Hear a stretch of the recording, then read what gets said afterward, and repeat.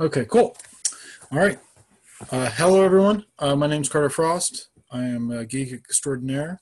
Um, so, uh, I'm going to be talking to you today about uh, a, a, wide variety of, of different topics uh, computer science, computer information studies, uh, robotics, computer security, a little bit of electrical engineering, just a, a, general mix mosh of, of, of various different subjects.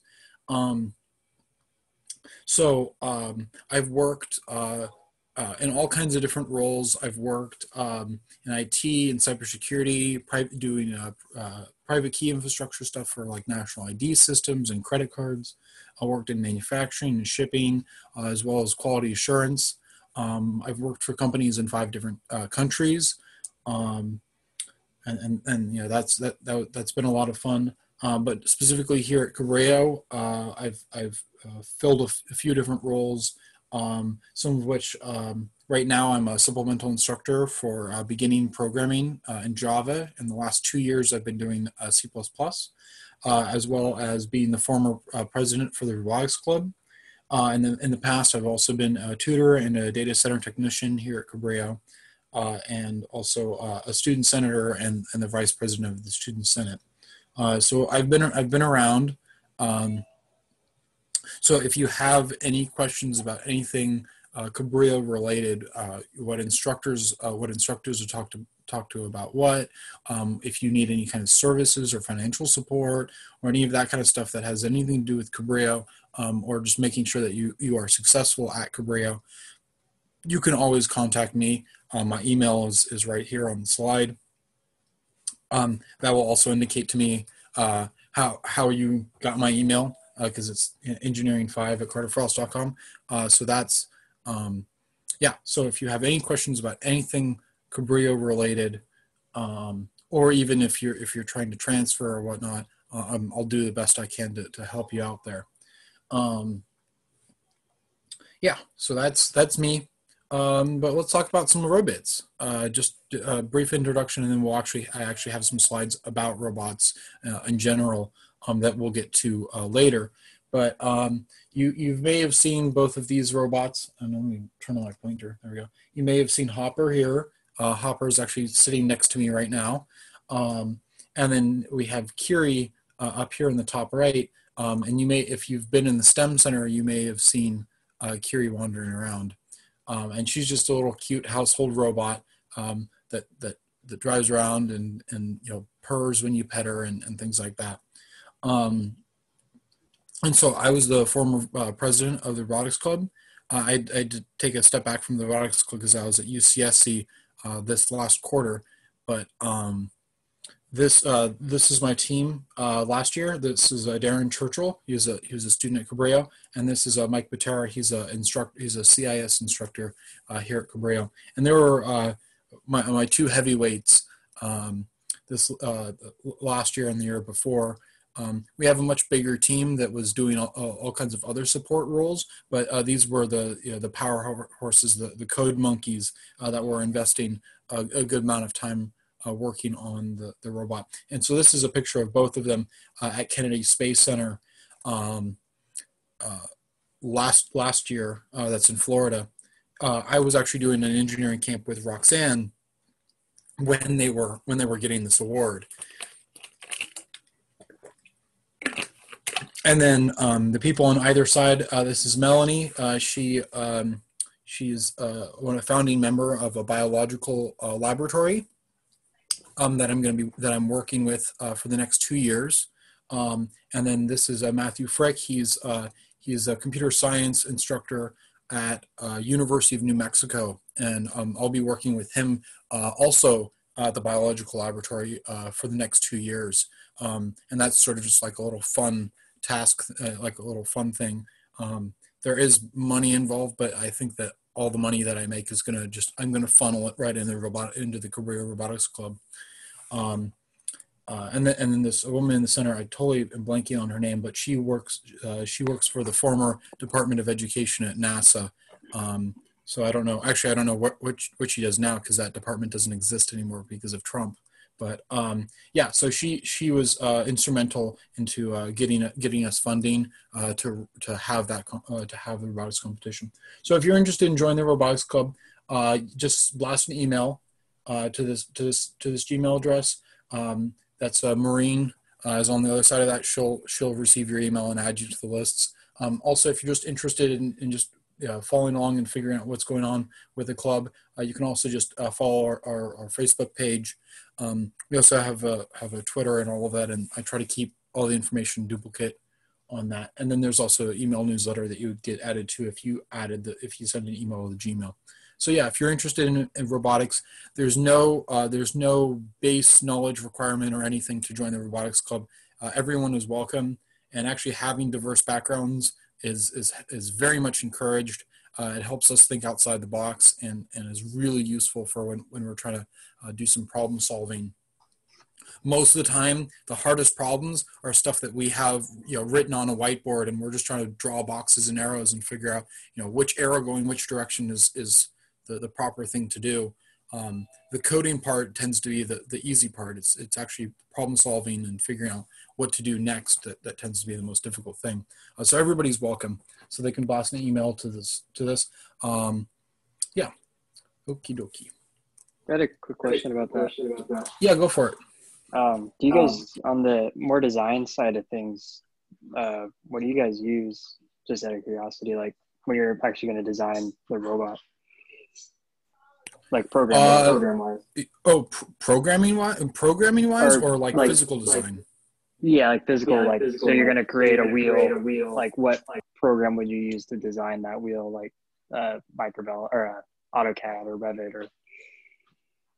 Yeah. So. um there's not really many people in the club who, who have a technical background with CAD work. Um, I've used a little bit of Autodesk uh, Inventor, uh, to do some to, to, do some 3D modeling and, and, and, and touching up some design work. Um, but it's it's pretty limited so far. Um, okay. Yeah, most of the people who did 3D design uh, and did like prints and stuff, uh, they they've grad they graduated a few years ago. Um, right now, the club has been very much a hardware club uh, for the last few years, but that's changing uh, a great deal re- uh, recently. Um, okay. But we have a ton of we have a ton of software available to us at Cabrillo uh, for free for student use. Um, and yeah, so so essentially whatever you're comfortable with, uh, we have access to the makerspace. You know when that's open again. Um, I have yeah I, I, have a ton of material down there that that could be used by anyone who's a member of the club uh, if they wanted to print out robotic parts. Cool, thank you. Yeah, I got about all my experience in AutoCAD and stuff. So I was just kind of curious about that. Thank you. Thank you. Yeah. Um, so this is also part of the Swarmathon. The, this is a this is a, a, chart of, of uh, part of the report that we would have that we produced for NASA uh, last year. Um, and so this is actually this this is actually a poster that's hanging up at Kennedy Space Center um, uh, at SwampWorks uh, for for that's a robotics laboratory there that they are building robots to to do um, to do mining um, on, on, various planetary bodies. Um, and so just just sort of a, a, quick tour of what's going on here. So we have the forging strategy, which is essentially how we go around looking for uh, resources. Let's see. I need to mute somebody. Here, just do that. Uh, Yes. Okay. Um, so so the forging strategy is essentially how you would go go around searching for resources, and resources are, are these little cubes um, that yeah that, that I have. Um, or, and and the and the arena would have 256 of these uh, spread out or or less. Um, but the forging strategy that we used was a correlated random walk, which is essentially like pick a random direction, pick a random distance, and then go there and then pick another random direction and another random distance and go there. Um, and the word correlated essentially means that we tend to go in the same general direction, that we never randomly turn around and go backwards. Um, and so that allows us to that correlated random walk allows us to explore the most amount of area as quickly as possible and uh, that gave us a huge leg up uh, it, because the time because the competition had a time limit. Each of the rounds had a specific time limit. If the round if the purpose of the competition was more of like you know find every single resource in an area um, then we would have probably gone through like a spiral search or something a little bit more thorough. But uh, even in life when we're searching for things uh, we tend to not um, do an abs- you know absolutely methodical search. We, we tend to do uh, something that's more bouncing around and, and trying to cover the most amount of area as possible. Um, and then another thing that we we we had was uh, our software features of, of trying to make our code as accessible as possible for new developers. Um, and so we tried to illustrate that.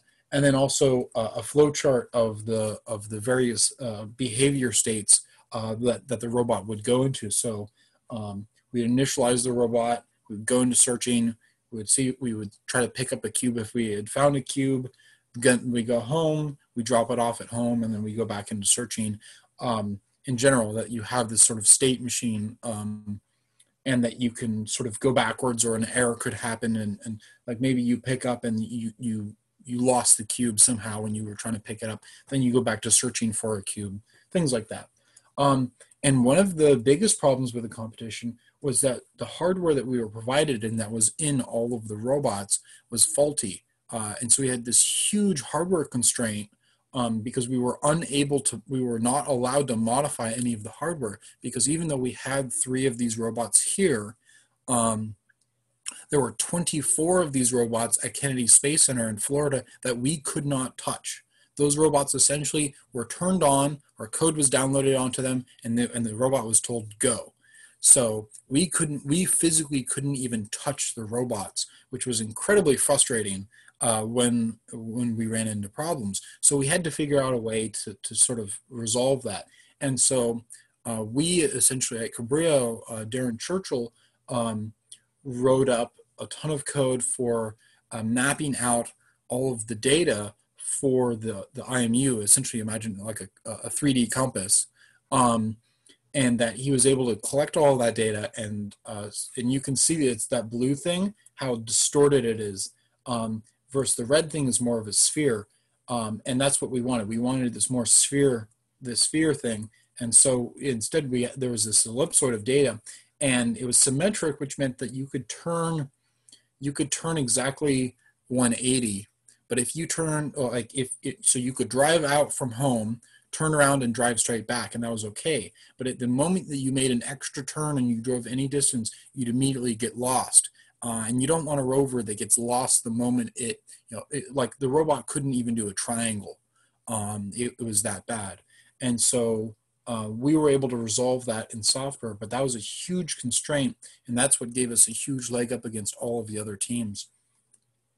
Uh, one of the features also is that we had a planner that allowed us to, to map things and then also to uh, whenever a robot would say, hey, I need to go home, it knew where obstacles were, it knew where walls were, and it could essentially make a plan to drive around them. Um, and that was incredibly useful too. Um, and then I wrote a ton of automated testing, that's all of this stuff. Um, and essentially that allowed me to um, run simulations of um, run simulations uh, of, of the robot. So so one of the developers would say, "Hey, I think I think I have some code that would work," and I would and I would pull the code. I would look at it and say, "Yeah, the, the code looks pretty good," and then I would run the code. Um, I would run about 100 simulations um, over the course of two days on on a stack of servers that we have at Cabrillo. Um, and I would figure out whether or not it was an improvement or whether or not it was a regression. Um, and sometimes, even though the code looked good and the behavior did what, what we thought it would do, uh, maybe the maybe it was too slow. Maybe the physical it would slow down the phys- the physical rover, and that would end up meaning that over the course of time we would collect less cubes by being more cautious. And so there was this fine balance that we had to strike uh, on. Of we had this huge time constraint per round, um, but then also we wanted to be as careful as possible. Um, and so trying to balance that try to balance that out of like, do we do the right thing or do we do the fast thing? And uh, what we ended up doing was uh, our rovers, when we're searching and driving around, we actually drive at half the speeds uh, all of the other teams did. Um, uh, just because we noticed that just because like if we saw something like a wall or, or something, if we were going much slower, we could respond appropriately by stopping and slowing down and figuring out if we're actually looking at a wall or whatnot. Um, but also it meant that the motion blur on the camera was was very much reduced because we were going slower, which meant that we were able to see more cubes. Um, and so uh, other teams would totally miss the cubes; they would drive right by them. Um, well, we saw them because the motion blur wasn't that bad. So there was this huge advantage of us going half the speed um, driving around as, as other teams because we were able to see more. Uh, and we were able to respond to things uh, more quickly um, by going slower. Uh, so that's just a general sort of idea of what, what, what we had been doing for the last three years uh, in, in the club. Whoops. Okay. Uh, so yeah, any, any questions about the robotics club uh, and me specifically before I start diving into the material? Yeah, yeah. Uh, how how how big could eating now? No. I, I, I, I didn't get that. Say that. Say again, Rox. Like when Like when when, when, is the robotics the club robotics still club still complete? Are they still what? Sorry, are they Sorry, still? are they I'm gonna still, I'm gonna te-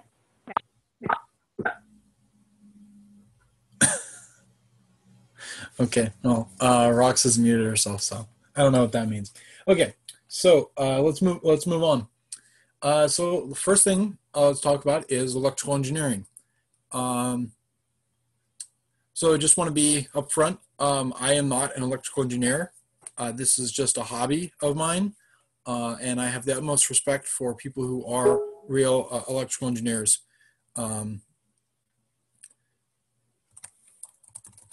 uh, okay, that's Rox. There we go. Um, yeah, so so people who are electrical engineers it requires a pretty decent chunk of, of education uh, that I'm really not willing to willing to put up with. So I just sort of uh, keep doing it as a hobby. Okay. So uh, okay.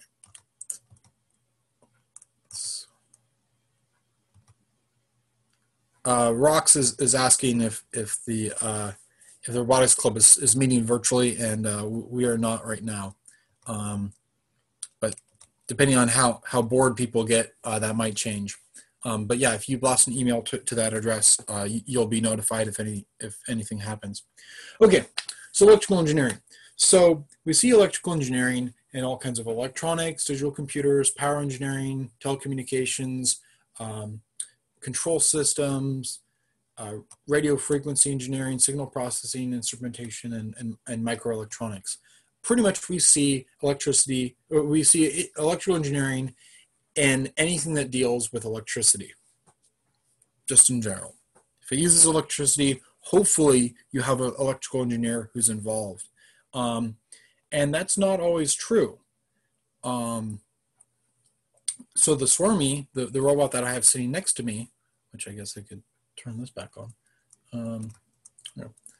The the Swarmie, the, the robot that I have sitting right here, um, was not. They did not ask an electrical engineer uh, to look at the the the, the um, look at the specs and, and lay things out. Uh, they had somebody who who sort of learned how to use the software themselves. Um, and this board here, this black board with all the this white uh, with all the white traces, um, was what they ended up designing. And this board here is specifically how the voltage distribution works uh, on this particular robot that I have. And there's hundreds of these robots all over the place, and they didn't consult an electrical engineer when they designed this board.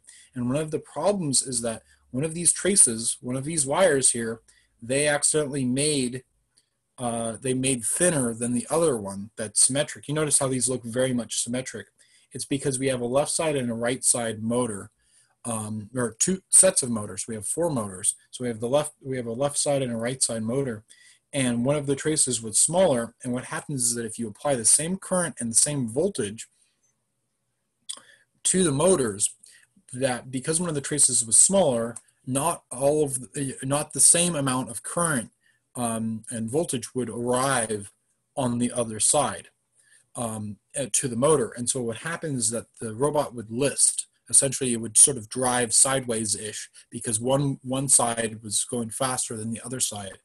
Um, and we had always attributed it to oh there was just a problem with the IMU and because we use IMU data to tell whether or not we're going straight or not um, and because the robot when they designed it isn't balanced like mechanically the weight the weight is not balanced so we always attribute it to, to an IMU problem and that the robot wasn't balanced and so that the tire pressure would be different but what happened was that uh, I was talking with a student at um, uh, a university in Puerto Rico and they had actually they had actually like put in probes and actually tested it and then looked at the design work of the board and realized oh one of the traces was smaller because they actually had a real electrical engineer to to look at it. Um, and so that caused problems for for you know hundreds of robots that were all over the place um, because this was designed by somebody who wasn't an electrical engineer so hopefully that helps illustrate the importance of having an electrical engineer to at least look at the designs while you may look at this and say, yeah, that, look, that looks pretty good, that looks legitimate, um, any electrical engineer that would look at this would immediately go, oh, that's wrong, that, that trace is too small. Um, and, and we wouldn't have had the problem that all these robots have. And there's not an easy way to fix it because the board was already manufactured um, and is already installed in hundreds of robots, and it would take thousands of man hours to go and fix all of that. Um, when they could have just you know, forwarded it as an email to somebody and had them to have an electrical engineer look at it and fixed it very you know, on on development. Um, yeah, so essentially, if you do if something deals with electricity, you need electrical engineer, and electrical engineers have the best toys. They have the best equipment. Um, we have all these these digital voltmeters and multimeters. Here we have a, a, a very nice uh, oscilloscope here we have a very nice power, bench power supply, another oscilloscope back here, another uh, bench power supply. Um, you know, a lot of very, very expensive equipment right here. Um, and you sort of need all of it uh, to, to really do to really do the job. Um, and so whenever you walk into somebody's office, you can very easily tell if they're electrical engineer or not because they have all kinds of cool stuff on their table or on their desk. Um, and we see them everywhere. We see we see electronics everywhere. We see them in computers and robots and cell phones, our credit cards, our radar navigation systems. You know, even the wiring in in our buildings uh, has electricity flowing through it. So um, hopefully, an electrical engineer is involved in all parts of that. Um, we see we see it in you know the medical the medical industry, the aerospace industry, and military, even eBay. Um, you would think that oh well ebay is just a software company. Well ebay has infrastructure that they have to maintain but also maybe they're selling things and they need an electrical engineer who actually understands what things are uh, in order to efficiently sell them or, or be able to, to list them properly. Uh, and so they bring in electrical engineers to, to make sure that's that's done correctly. Um, so yeah if, essentially if if it deals with electricity there are jobs as an electrical engineer so that's a pretty safe bet to, to go into being an electrical engineer. So I've been talking about like, well, that you need to know electricity in order to be an electrical engineer, but what is electricity? We can think of electricity as it just being whenever there's a difference of charges, essentially there's more electrons somewhere um, than another place. And when those electrons then go to balance themselves out to that other place, that's when we see uh, that's when we see the current flowing is when the when the electrons are flowing. And so we sort of break electricity down to two different types, um, but the, st- the, concepts are still the same. That the electrons um, are wanting to balance themselves out. So the first one is static electricity, and then the other one is current electricity. And we'll talk about both of those. So current electricity is what we think of as like a battery that um, that the electricity wants to balance out. That the electrons the electrons want to balance themselves out. So the electrons are going to the area where there aren't as many electrons. And what happens is that when they balance themselves out, when there's the same number of electrons on both sides here, the battery chart doesn't have any charge anymore. because the electrons don't want to go anywhere. So here, here's an inside of, of, a, of a battery. And essentially you have your cathode, which is essentially neutral. There's, there's, nothing, there's nothing going on. Um, and then you have your electrons hanging out in your anode, and then there's a separator between the two. And the separator essentially keeps the electrons from immediately just jumping through into the cathode. And so what happens is that if you attach a wire to uh, either side of the, the battery, that wire is going to get very, very toasty. And, and that's because the electrons are flowing through it as quickly as they can. And so what you can do is if you stick things in the middle, you know, or if in the way along the line, like a light bulb, then you light up the light bulb. Not like a household light bulb, but like an LED or, or a smaller light bulb. Um, that essentially the and, and light bulb works by electrons flowing through it. And that's how most electronic components work.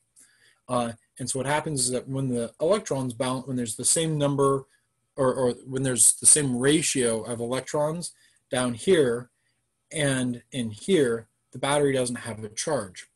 And if you have a rechargeable battery, then that means that you have um, some kind of property that allows us to essentially pump the electrons out of the cathode and back into the anode.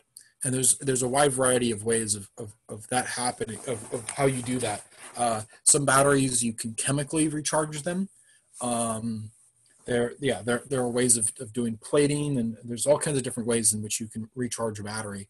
Um, but yeah, so so in general, when they balance out, you don't have a charge anymore because the electrons are, are perfectly content staying where they are because they're nice and balanced out.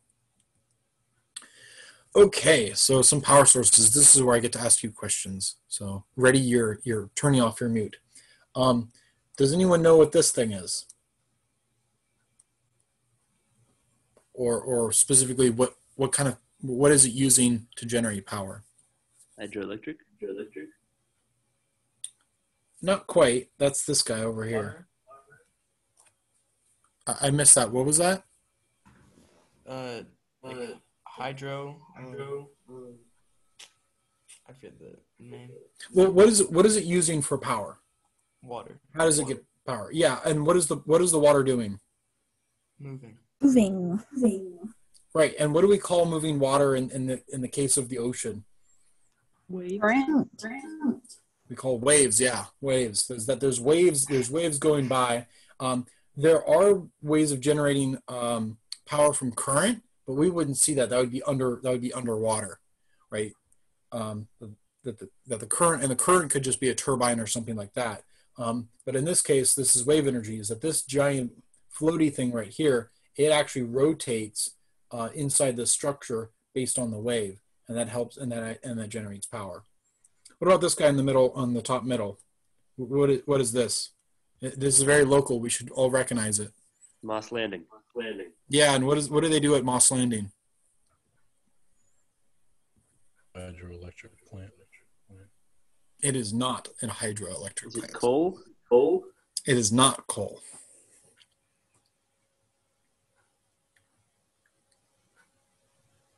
What are we the Saudi Arabia of? It's steam power. Steam power. Uh, I mean, there is steam, but you have to do you have to heat up the gas. steam. Natural gas, exactly. It's a giant natural gas peaker plant. And we don't really see it operating that often, which is a good thing because it's a peaker plant. Only during peak times or, or peak days or whatever uh, will they power it on.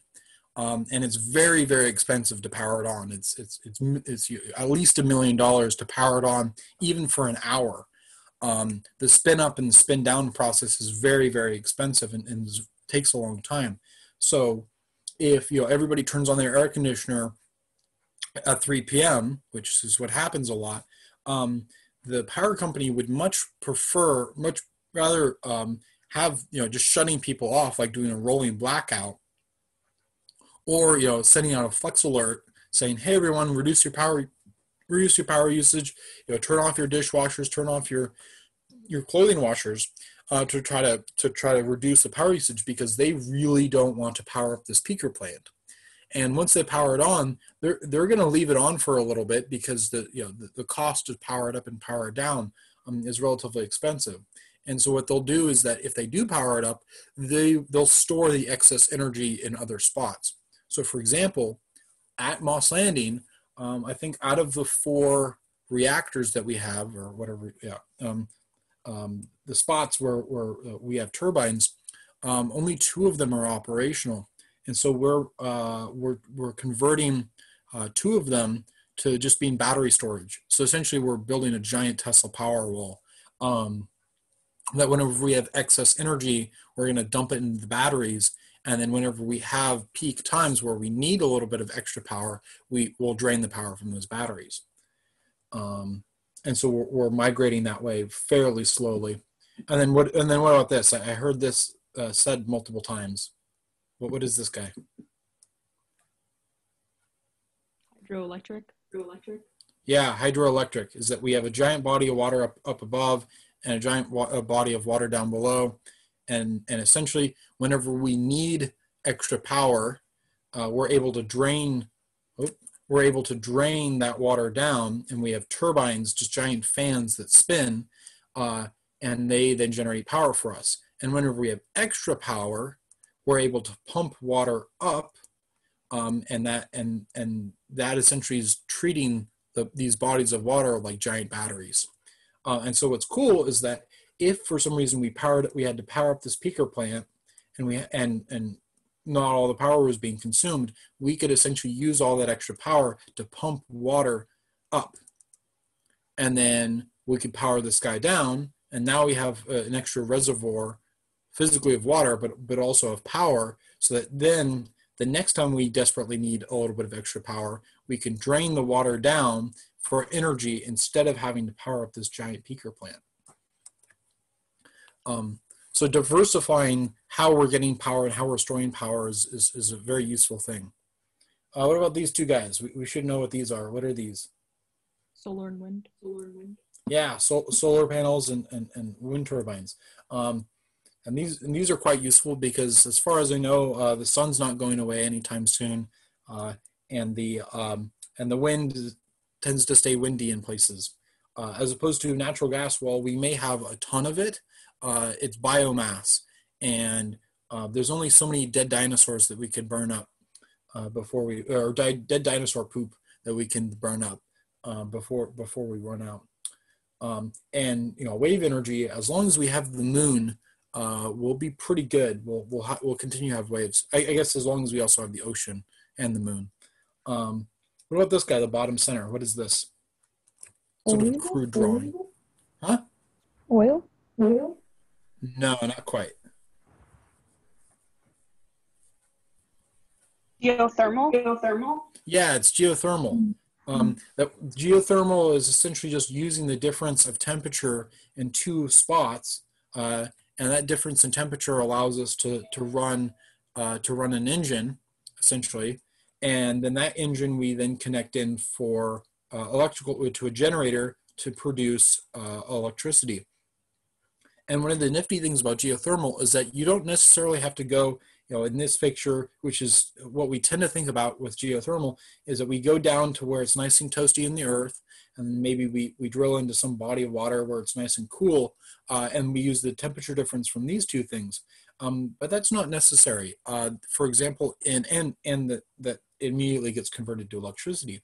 Uh, there's a few spots in uh, South America where um, they actually use the temperature of the seawater because um, that's a that's a very constant temperature, and the temperature of the village uh, nearby just the ambient temperature, and that that difference is enough to run the pump that continues to pump the seawater um, and run a full desalination plant to make fresh water, as well as uh, providing a lot of mechanical um, energy. So not electrical engineering uh, energy, but as like these gears are turning around, and they're able to use it for manufacturing for um, or, or, or, food processing where they're able to you know crush where they're able to crush grains and make you know and make flour and, and, and things like that Um, and so they're using the geothermal plant purely for mechanical um, for mechanical uses and for making water. They're, they never convert it to uh, electricity.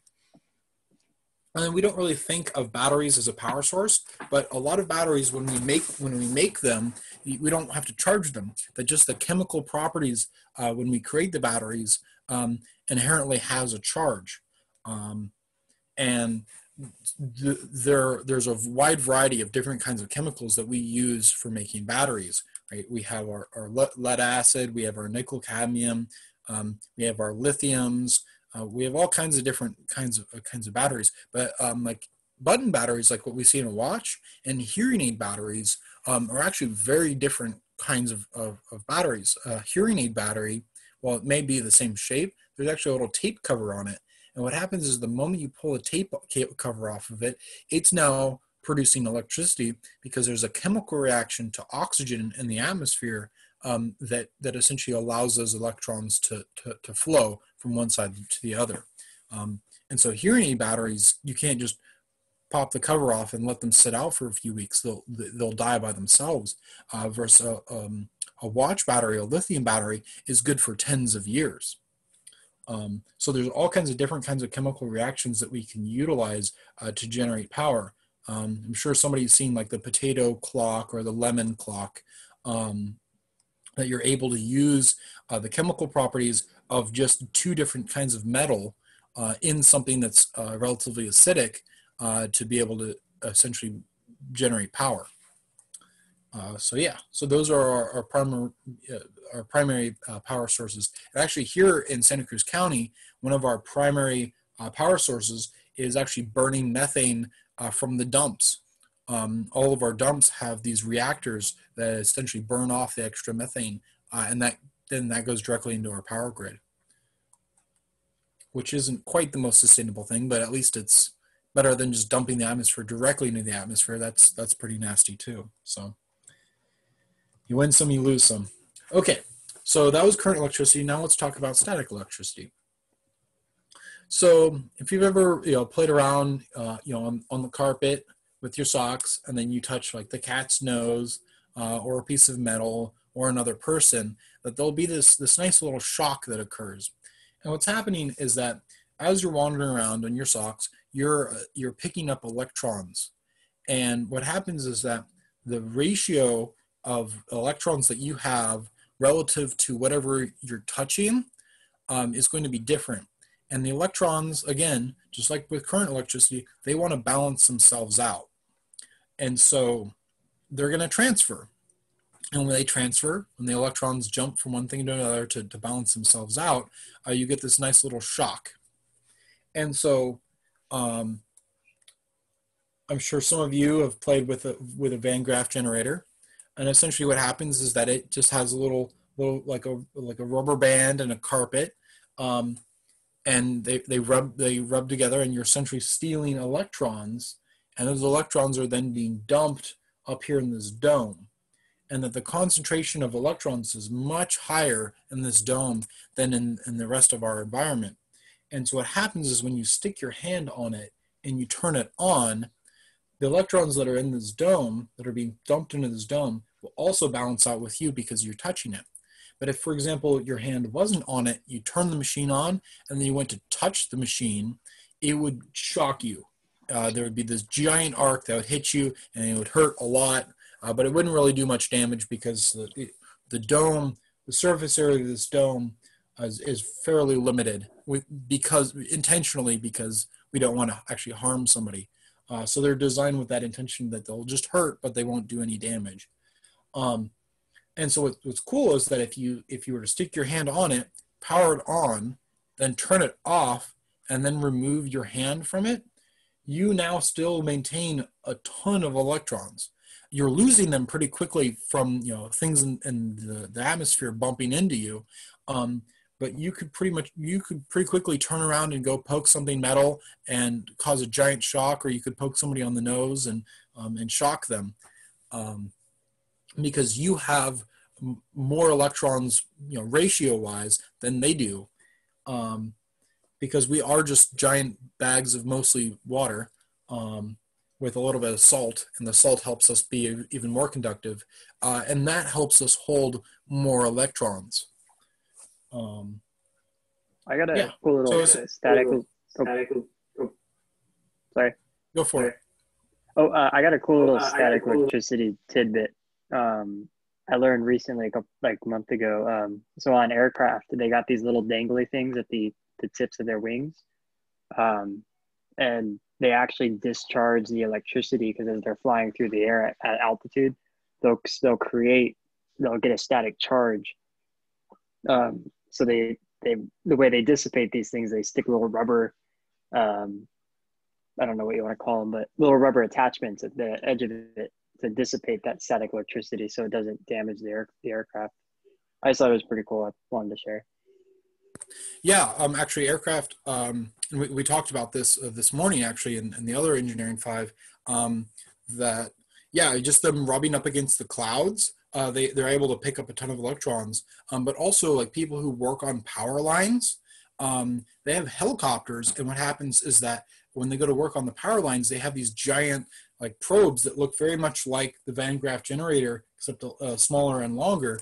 Um, that they go and touch the power line and then the person then is brought to the same potential essentially their ratio of electrons is balanced out with what's on the power line and they're able to hop over. Um, and that means that the whole um, helicopter is actually brought to the same potential um, as the power line which meant, means that if the if the helicopter was just to land um, pretty immediately it would instantly kill everyone in the helicopter. And so um, what they have to do is is when they're when they're you know embarking and disembarking is that they have to bring everybody to the same potential. And then the, the helicopter will actually fly around uh, sort of unnecessarily but necessarily like you'll be looking at it like why is the helicopter just wandering around?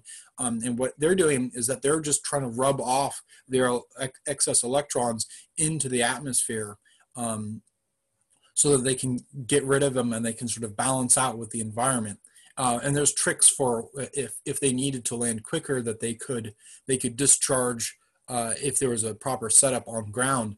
Um, but but in most cases, uh, they just have to wait until they're sort of out balanced with the environment uh, because because of the, the high voltage power lines that they were working at that they were at that potential.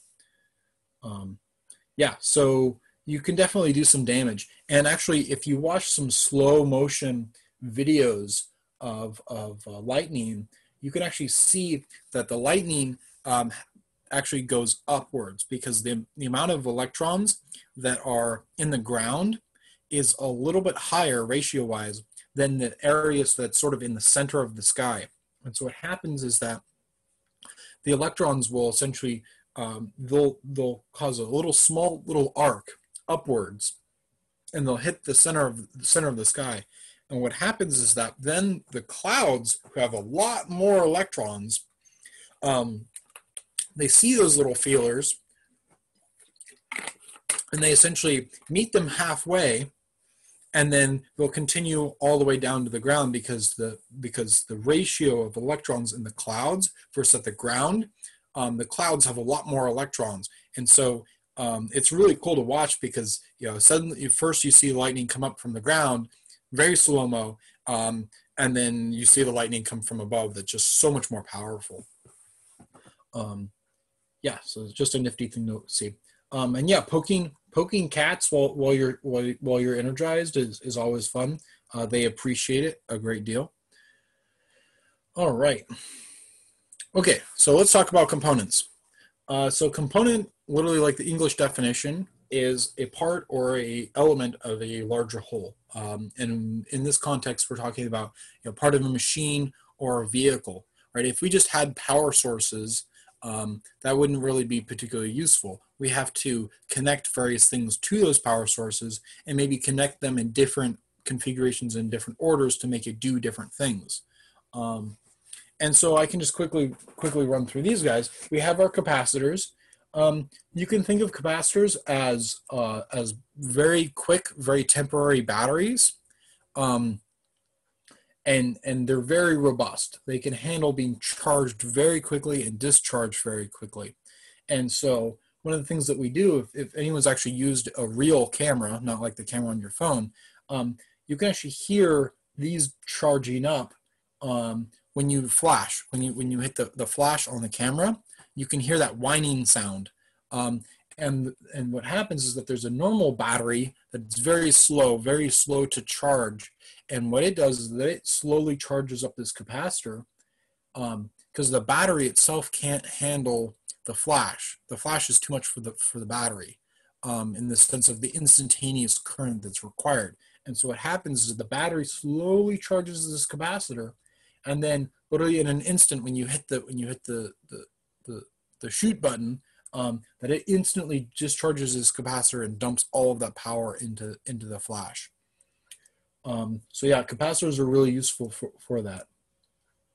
Um, and so uh, some modern supercars, uh, that's what they do is they have these giant capacitors that are you know the size of your fist to the size of your head, and multiple of them that um, instead of having you know normal traditional batteries for like an electric car, they, ha- just have these giant capacitors, and that allows them to be able to slam on the brakes, dump as much power as possible from the brakes into into the capacitors uh, instead of just burning it up as material. And then when they hit the the, the go-go the go-go switch, uh, that it dumps all of that power instantaneously back into the engine and allows them to accelerate at insane speeds. Okay, diodes. Let's talk about diodes. Uh, diodes are, are like, uh, if we're going to be using a water analogy, which we'll probably be doing, um, diodes are like a one-way valve. They allow the current to flow in one direction. Uh, and that's a useful thing uh, to have, especially in electronics, because you have, you have current, you, you have energy flowing all over the place, uh, and you need to be able to restrict everything to one direction. Otherwise, you might burn up components, or you might have components that just don't work properly if you, if you try to uh, operate them backwards. Um, and so there's a combination of a diode and a light called a light emitting diode. And what happens is that as current goes through the proper direction, it lights up. But if current tries to go through the opposite direction, nothing happens. No current is allowed through and the light doesn't light up. So this is a light emitting diode. So this is just a normal diode. This is light emitting. We have our optocouplers. Uh, this allows us to um, this allows us to control uh, whether or not uh, things are connected or disconnected, and, and we'll talk a little bit more about how these are useful. Then we have these things called resist- resistors. I'll, I'll jump down here. And what a resistor does is it allows us to limit the amount of current going from one, you know, from a power source to something that, uh, or to the other side of the power source, um, or to a component. Maybe a component can't handle all of the current that the battery or the other power source can supply. So we put these resistors in the way and they offer resistance. And what they do is that they convert that extra that excess ener- energy that it's being fil- that is filtering out into heat. And so resistors can get a little bit toasty. Um, and there's multiple varieties of resistors. Uh, one of them is a photoresistor, one that it changes its the resistance that it offers based on how much light it's exposed to. So maybe you have um, uh, a cabinet that opens up when it's sun when it's uh, sunny uh, because you have plants in it. But then when it gets overcast and it's rainy, the cab- the cabinet automatically will close. Well, you could do that with a photoresistor. And you just have you know a small computer on the other side that's looking at this photoresistor that says, "Hey, I noticed that I'm seeing this resistance. That means it's either cloudy or it's sunny." Then you have another type of resistor is called a potentiometer or a variable resistor. And that allows you to change the resistance um, by turning this dial. So it's a, it's a pretty useful thing. Um, and if we were doing the Arduino activity, we, we would have gotten a chance to play with these, but unfortunately, due to the plague, uh, we are not. So I apologize for that. Okay, the next thing that we uh, are going to talk about are relays. This is a way that we can control uh, how things are connected. Um, if you ever walked into like a big building and you flip the light switch and everything doesn't immediately come on, maybe you hear like chunking or clicking noises uh, happening in the ceiling or in the wall, that's a pretty good indication that there's, that there's a relay involved. And what happens is that maybe the switch that you flipped, maybe it couldn't handle the amount of current that needs to that needs to flow in order to turn on all of those lights. So instead, we have a, a controller. Uh, we have something like a switch, just a button switch or like a light switch, and it can and it controls the relay. It tells the relay open or close, and the relay then does that. And the relay is built to be able to handle uh, much more current. Uh, then we have our stepper motor. Um, we see these in, uh, in like a lot of CNC mills and lathes, you know, that, that giant machine that, that we have in, in the corner, both the giant machines that we have in the corner um, in, in 810 in your classroom. Uh, those uh, rely heavily on having stepper motors because stepper motors allow us to know uh, where, what position everything is in, which allows us to make very exact uh, cut operations. Um, then we have our switches, just, you know, like an on off switch, um, or this case is a, just a push button switch. And then uh, the best, the save the best for last, we got our transistors. And transistors are really the thing that brought us into the computer age. Uh, the issue with relays is that they take a noticeable, a, a relay, this guy up here, is that it takes a noticeable amount of time to turn something on or turn something off. Like you flip a switch and then you hear it clicking off in the background. Or uh, like the blinker, when you turn on the blinker in your car, that's a relay uh, that you can hear clicking on and off. And, and it's a set of relays that sort of uh, toggle each other um, that internally. Um, and those are quite slow, right? We're able to, to perceive them within our, you know, within our experience of, of perception.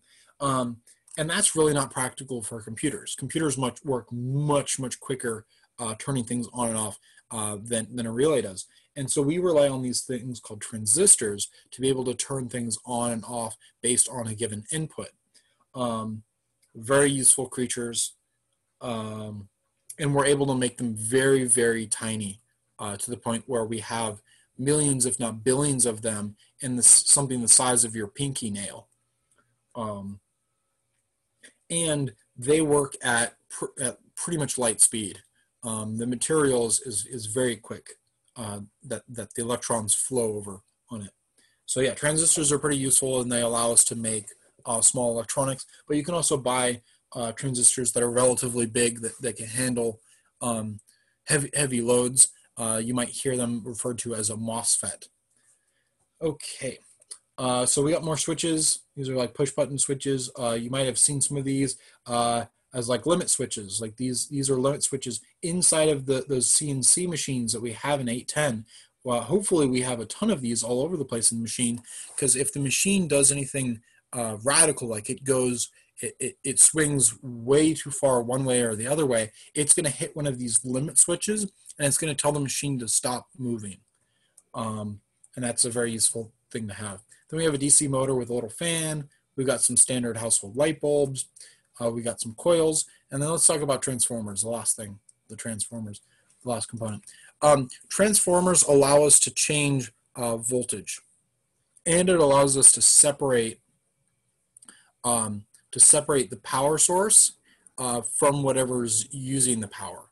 Uh, so we see transformers, like for how we charge our cell phones, for example, is that we have the wall power, which is 110 volts alternating current, if you were to plug your phone directly into that, your phone would literally explode and fly, you know, fly, fly a few, uh, quite a few feet away um, across the room and probably put a hole on the other side of the, you know, put a hole on the other side of the wall because um, the, the energy is just absolutely not compatible. And so we use these transformers to convert that, that 110 volts alternating current to something that is consumable by the phone, which would be more along the lines of you know, 5.5 volts. So from 110 volts to 5.5 volts. Um, and then we're also changing from alternating current to direct current.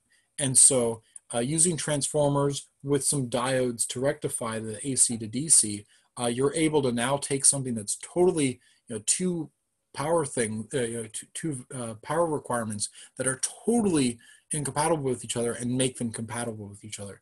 So we can we should be very appreciative that these that these things called transformers exist. Um, but also they allow us to, to separate things uh, using coils and transformers, which are you know, sort of synonyms, is that there's this giant uh, electromagnetic field uh, that they have that, that, that surrounds them, or you know that they generate, um, and that helps stabilize things. So, for example, if there's a power surge, uh, that field is able to sort of absorb uh, a little bit of that. And so that's why we're able to have power surges. And um, for the most part, if we didn't buy a really crappy transformer, uh, why our cell phones don't explode. Um, because the transformer, uh, especially if the surge is very, very brief, or if the brownout is very, very brief, the, the transformer has a field that it's maintaining uh, to help that out. And then we can use a combination of, of polarized capacitors on the DC side to make that even more smooth. And we can also add more coils um, to, to make to, to make the field much more stable. So there's lots of tricks to, to keeping your phone from exploding, and, and we try to utilize uh, all of them if possible. Uh, any questions about components? I've- been talking a lot. Sorry. Sort of happens. Okay, everyone solid on components? Okay. All right, let's move on to. I, I've been using the word conductor, but what does that even mean? Um, so, uh, and resistors. So, uh, we consider things, you know, the nice expensive metals uh, to be really good conductors. Uh, and based on their price, sort of dictates, uh, or the other way around, uh, how conductive they are. Um, so, like gold is a very, very good conductor.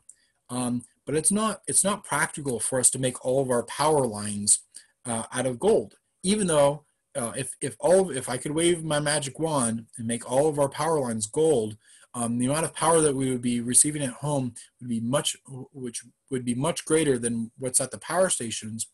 And we could actually power down some power stations um, and you know help help preserve the environment a little bit. But the thing is that we don't have enough gold to make that practical I mean, there's plenty of asteroids that are orbiting the Earth that have enough gold to be able to do that, um, but they're not down here yet. They're still they're still up there, um, and so we sort of have to prioritize. There's this this fine balance of um, what's what's cheap, but what's still conductive enough to do the job, and so um, and the power lines that we typically use, we use aluminum uh, because it's fairly cheap um, and it's fairly conductive.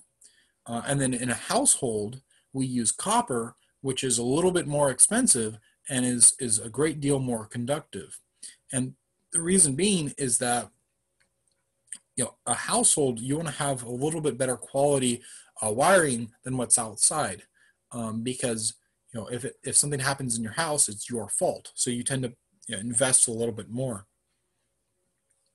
And inside the house, you know, the, the, the, wires that are inside the walls, any kind of efficiency that you lose during power transmission uh, is typically uh, dumped uh, is typically uh, dumped as heat energy, and you don't want um, the power lines that are in your walls uh, to be heating up because you risk catching the house on fire. Versus the power lines that we have outside, um, those that, those have plenty of opportunity to have lots of cooling because there's you know wind blowing by pretty much all the time um, to, to cool them down. Uh, so yeah, um, so that's that's why we, we tend to use aluminum is because it's cheaper. It's always being cooled um, as opposed to copper, uh, which is which is there's much less of it. But we use that in our households because we want to have something that's that's fairly efficient at, at transmitting energy, but we don't quite want to you know, bl- blow out the bank on, on using gold or silver um, to line all of our, our power lines in our house. Um, but we see gold used uh, in very expensive electronics, uh, like rovers, because the rovers uh, getting as much, you know, like like Mars uh, Mars rovers and satellites, we use as much gold as possible because it doesn't degrade. It holds up very very well, um, and it's very conductive and and um, yeah, we, we, we definitely care about as much efficiency as possible, and we don't want to lose any efficiency uh, to heat um, because in a lot of cases um, we already have uh, enough heat that we have to deal with when we're in space, and getting rid of the heat is one of the bigger problems. Um, and so we try to use gold. We, we, use gold where it's practical, as well as silver. Um, and so Yeah, and the cheaper the metals are, essentially, the less conductive we get. And we have then this middle zone.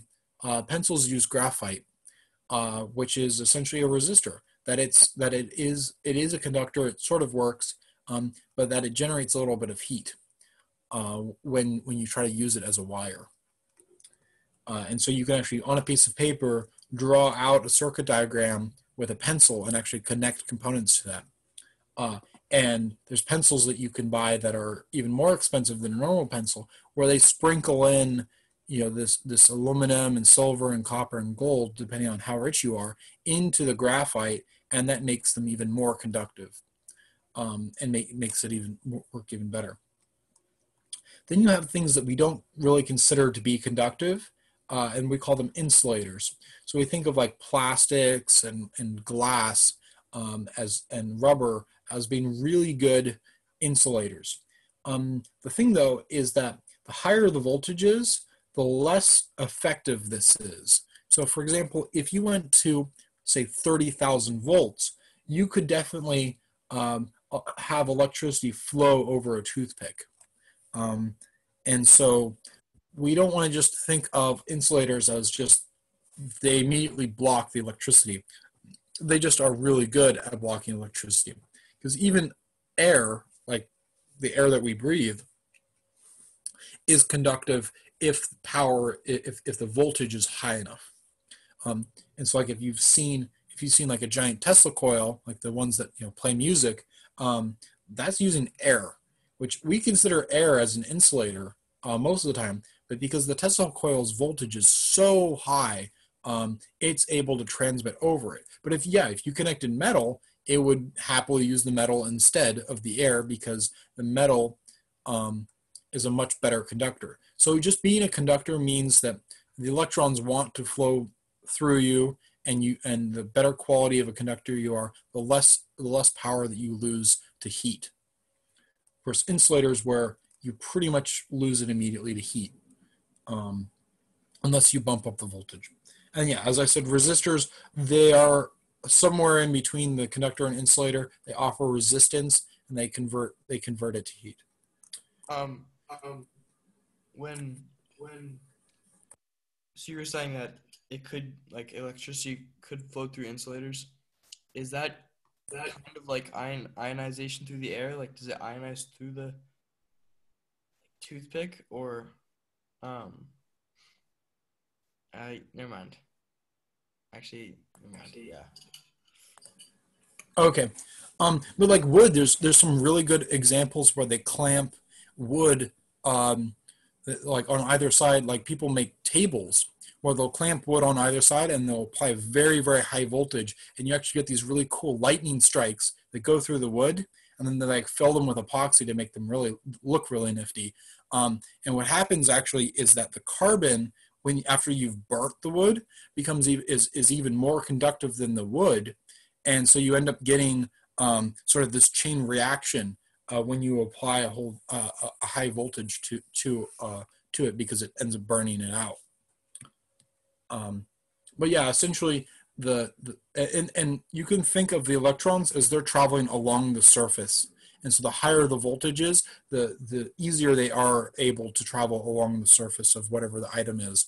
Um, so a great, great prank uh, to do is uh, if you have a generator that generates 30,000 volts, which I have a few, um, you can hook it up to like a table, just like a plastic table that somebody has, and charge it up, and then disconnect and hide the equipment really quick. And if somebody happens to in in, the next like three minutes or so goes by and goes to touch this plastic table, they can actually get shocked by it.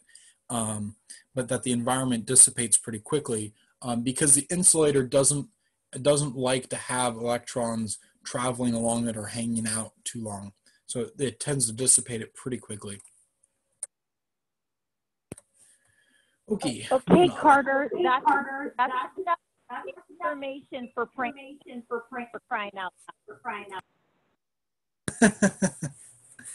okay. All right. So, uh, circuits.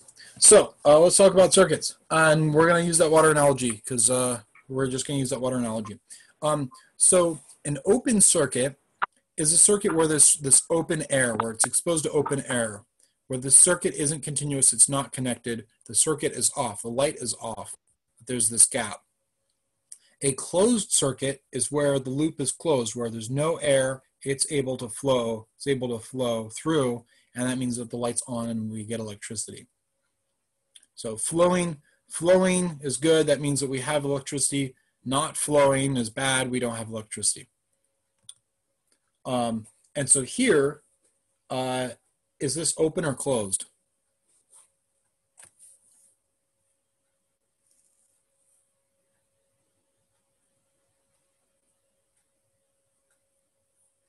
Open.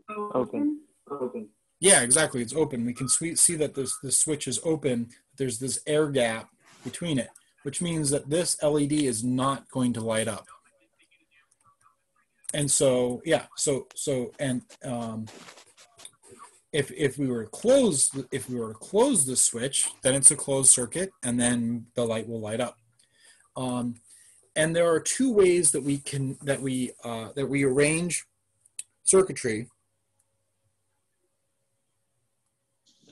um, and we sort of mix them. No, there are two general ways, and then we mix them together to, to create more complex uh, circuits. Um, and we and we uh, use a series and parallel. Um, and and we can think of them just like you know TV you know TV series or a book series or like parallel universes or whatever. It, the meaning's exactly the same. Series means one after another. So in this in this circuit layout, it goes from the battery to the resistor to the LED to the switch to the battery. Right? That's that's in series. Versus parallel is all of the things at the same time. And I'll show you a picture. Here's here's the difference between ser- a series circuit and a parallel circuit um, for two lights and a, and a battery. So you notice that series, it's one after another, and that the voltage is halved. Essentially what happens is that in series they share the voltage. They, they half the voltage. So this gets half of 1.5 and this one gets the other half of 1.5 versus parallel these guys share the they share the current but they get the same voltage. So this one gets 1.5 volts and this one gets 1.5 volts. And so this is a way that maybe you have an led you have a light that runs on 1.5 right? You're gonna you're gonna organize it as a parallel circuit. If you organized it as a series circuit, it would be very dim or it wouldn't work at all. Um, and so you can sort of mix these two things with different kinds of components. So for example, if I was to put a switch right here, uh, what would that what would that allow us to do?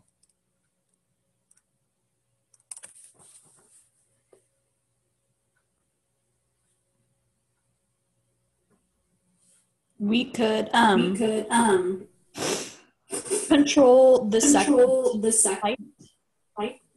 Yeah, exactly. That would allow us to control the second LED. The first LED, or the yeah, the first the first light would stay would stay running, but adding yet another component right here would allow us to, to, to toggle this on and off. Maybe you have like a security light or something that you know as long as the battery has a charge, you want that light to continue working, but that you have you but you ultimately have a light that you know a, switch that controls the main light that is like the flashlight. Maybe you have a flashlight that has a little dim light that always is on as long as the battery's good, but then you have your main light and you stick a switch right here to turn it on or off. Something like that, that you can that you can pretty quickly add components um, and add complexity and make something more and more useful. Okay. All right. So yeah, I just want to want to nail this down. Closed circuit. It's closed electrons are able to flow. They go through the LED. They light up. And actually, just occurred to me this LED is backwards. Gotta fix that. Uh, versus an open circuit. So the physical the physical pins where the LED is, is, is needs to be on the other side. Um, and then an open circuit, there's no electricity flowing because it's open.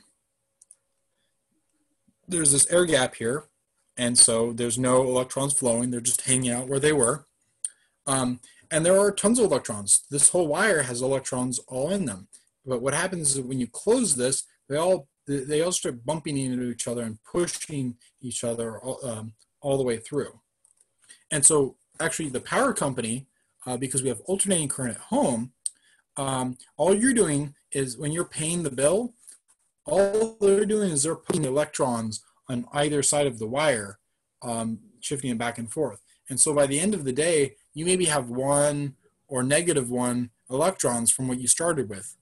Um, but that, that ultimately all they're doing is shifting electrons that you already have in the house and all of your wires just back and forth. Um, but with a battery with current electricity, the electrons are actually going from one side of the battery to the other side of the battery. Okie dokie. Uh, this would have been an activity that we would have done in class, but unfortunately we are not in class. Um, this would have, this is a foam board, so this is non-conductive, and there's some pipette tips. Um, these we would stab into the foam, and we would roll this tin foil um, onto the cardboard, and we would essentially make our own circuits with tin foil, which is aluminum. Um, and we would connect up the battery and the lights and make a switch, and we would have a circuit. Uh, so yeah, that's what we would have done, uh, just to give you an appreciation for what, what could have happened. Sorry, guys. Okay, we are not doing Elmo.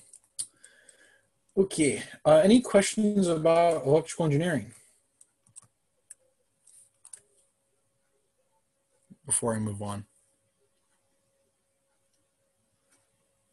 No questions. Thanks. That was questions. Thanks. That was interesting. What was that, Nathan? I didn't have a specific question. I didn't have a specific question. Uh, that was interesting. Thank uh, you. That was interesting. Thank you. Yeah. Okay. Yeah, you're welcome. Uh, okay, so let's let's migrate on to the the computer realm. All right. So let's talk about uh, computer science, computer information, and computer engineering. All right. Um, and so these are very distinct things. Uh, they, they, they have their own line for a reason um, because they are very different disciplines, um, very different degrees. Um, and one of the most unfortunate things is that they don't talk to each other.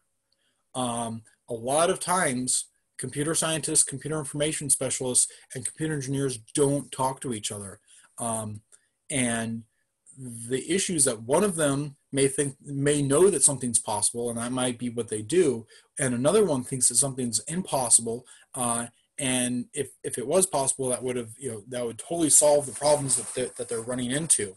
Um, uh, I, I, have a story uh, three three years ago i was uh, up, up in san francisco at a conference uh, rsa it's a cybersecurity conference. There's about 30000 people there. And i was in a booth um, for a networking company that was building uh, networking equipment to, to secure uh, to just secure normal businesses, but they were doing a demo for uh, embedded uh, industrial control systems. Uh, so their demo had like it was like a brewery where they where that they had set up. Um, and I was asking them about about something about running on embedded systems, and and they're like, "Oh yeah, our, our stuff doesn't actually run on this equipment." Um, but we really wish that it did but it's just it's just not possible. And literally the booth 10 feet away that's what they did is that they were able to migrate sol- solutions like what they had um, to be on an embedded system on, on onto the system that would allow them uh, to be able to sell and be able to secure uh, those markets to be, to be able to secure those um, those industrial control systems. Uh, so that they could actually secure a brewery or uh, a water piping system or a water treatment plant or something like that uh, that they had thought was impossible, um, but it really was possible. And then I literally grabbed the engineer's hand and walked them 10 feet over to the other booth and then introduced them to their engineer. Uh, and they hopefully were able to make a, a really cool product together um, by, by working together. But just um, just ha- helping people sort of cr- uh, cross pollinate and talking to each other is really key. Um, if you're working for a company um, being able to converse with the other people of the other of the different backgrounds is really really important. Uh, and it can also help you and, and the other people feel a lot more valuable because um, it helps you appreciate the piece of the puzzle that you provide and maybe the piece of puzzle that they provide and and helps them see where everything fits together. Um, so communication is really really important and i can't emphasize that enough. Um, and so you're i mean you're taking this engineering as a profession class you've been doing uh, hopefully some group work um, and, and learning what it what it looks like to, to work as a team so now you're not just hearing it from Roxanne, you're hearing it from me. Um, that teamwork is really, really important. Um, so yeah, so let's let's let's let's go. Okay, Yeah. Yeah. so from phones to cars to medicine, technology touches every part of our lives. If we can create technology, we can change the world. So if we can build solutions to problems that we see, whether it's you know fixing the structure of a bridge, we can change the world. Um, and you know sometimes just picking up a single piece of trash, we, we don't realize the, the kind of ramifications that it can have. So it's really important to be as really mindful uh, of our impact um, on our environment and, and try to and try to change it for the better. So I just want to give you guys a, a quick history lesson so we can really appreciate uh, how we got to where we are today. So uh, the first person I like to talk about is Ada Lovelace. Um, she wrote the first algorithm for machines, and she's regarded as the first computer programmer. Um, she essentially came up with the idea that you could have input for a machine, maybe like a lever or a button or a switch or something like that, and that that if you interacted with that, you could change the behavior how of how the machine worked, and that you could do it in a very predictable way. Given this input, the, the machine would behave in this fashion, um, and that's what we and, and that's regarded as a computer nowadays. You press a key on a keyboard, that there's a very there's a very explicitly given um, result of that based on whatever you're doing. Uh, so we can thank Ada for, for that concept. The next person I like to talk about is Grace Murray Hopper. Um, so she invented the first compiler. And what that does is that converts something that is somewhat human readable into something that the computer can understand. Uh, and I'll show you an example of that in the next slide. And then she also invented the concept of machine independent programming. Uh, one of the issues was uh, before her was that you would program something once and it would only work on that one machine. Literally, you had so, a machine that was almost identical, like from the same manufacturer. You know, and these were these were supercomputers back then. We didn't have personal computers. Um, you know, a, a computer that was pretty much the same specs, made by the same manufacturer, and is literally built right next door in, in the other three-story building um, those two computers weren't compatible. And If you wrote code for one, it wouldn't work on the other um, because just maybe the you know, how somebody soldered uh, the, the memory rings together uh, was enough that would would cause a, cause the computer were vastly different. And so uh, Grace uh, helped us solve that problem by essentially make making it so that you could program something once and it would run in multiple spots. It would run on multiple machines. We take this for granted, right? There are there are thousands of different kinds of Android phones, uh, and we download some generic app that was maybe programmed on not even an Android phone. Maybe it was only programmed on a computer and tested on a computer, but was never tested on a phone. And that application works on all of these different kinds of phones. Um, and that really goes to machine independent programming is that you can write a program in general form that will allow you to use that that code on lots of different kinds of um, devices. And then to add to her badassery, um, she was the first programmer of the Harvard Mark I computer. Um, essentially, there was this giant computer that was built to uh, to calculate missile trajectories, and no one could figure out how to make it do anything besides basic addition. Um, they had spent, you know, I think, due to inflation, that would have been billions of dollars um, on building this you know, this multi-story building um, computer and doesn't didn't do anything uh, practically. And so they brought her in, and she no problem was you know able to write some code for it, and um, and was able to get it operational for for calculating missile launches. Um, but yeah, just just the fact that they they had built this giant computer and they couldn't figure out how to how to make it do anything useful. Um, nowadays, right, we, we buy a computer or we build a you know build a computer, and we're pretty much we're able to plug in some cards, load in some software, and we're off to the races. Um, so the days of, of having to bring in a specialist to, to program up a computer um, are, are, pretty much over um, for, for that. So yeah, badass mofo, Grace, Grace Murray Hopper. Thank you very much for solving all those problems. And we'll, we'll talk about, we'll, we'll talk about compilers. Uh, but first, let's get some number bases down.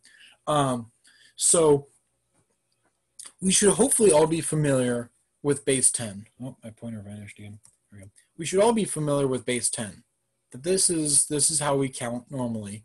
Um, we call the decimal system. And one of the things to be mindful about is that when we say base and then a number, what we're saying is that per a digit, per a specific location, we can express this many things. So in base 10, from uh, we can express in one digit spot 0 through 9. And what happens is that when we run out of things that we can express, because this is 10 different things, 0 through 9, is that we then make the 0 and then we carry the 1 over. And so we have 10. That's how base 10 works. Now in binary, if I can move this, can I move this? Uh, whatever. So I, I don't know, can, can you guys see the one that's right here? Yeah. Yeah. Okay, good. Um, I, I have something that's blocking it, so um, it's good that you can see it. Okay, so um, so in base two, you notice how uh, base two we can only express two different things per location. So we go zero, one, and then we're out. We now have to go to zero, uh, go to zero, and then carry the one over, uh, and there we go. We, we we're now at one zero, and if we add one to this, we have one one. So in each position, and then if we need to add one more to this, we're out of we're out of spots. So we we set both of these to zero and we carry the one, and then we're at we're at one zero zero. So in binary, it's much quicker that you start carry things over because you only have two spots. Um, and it's very, very difficult for us to look at lots and lots of ones and zeros. And so what we do that's easier on our eyes is we're able to convert this base 2 into base 16. And base 16 is the same concept, that 16 is the number of different things that we can express in one digit location. So 0 through F.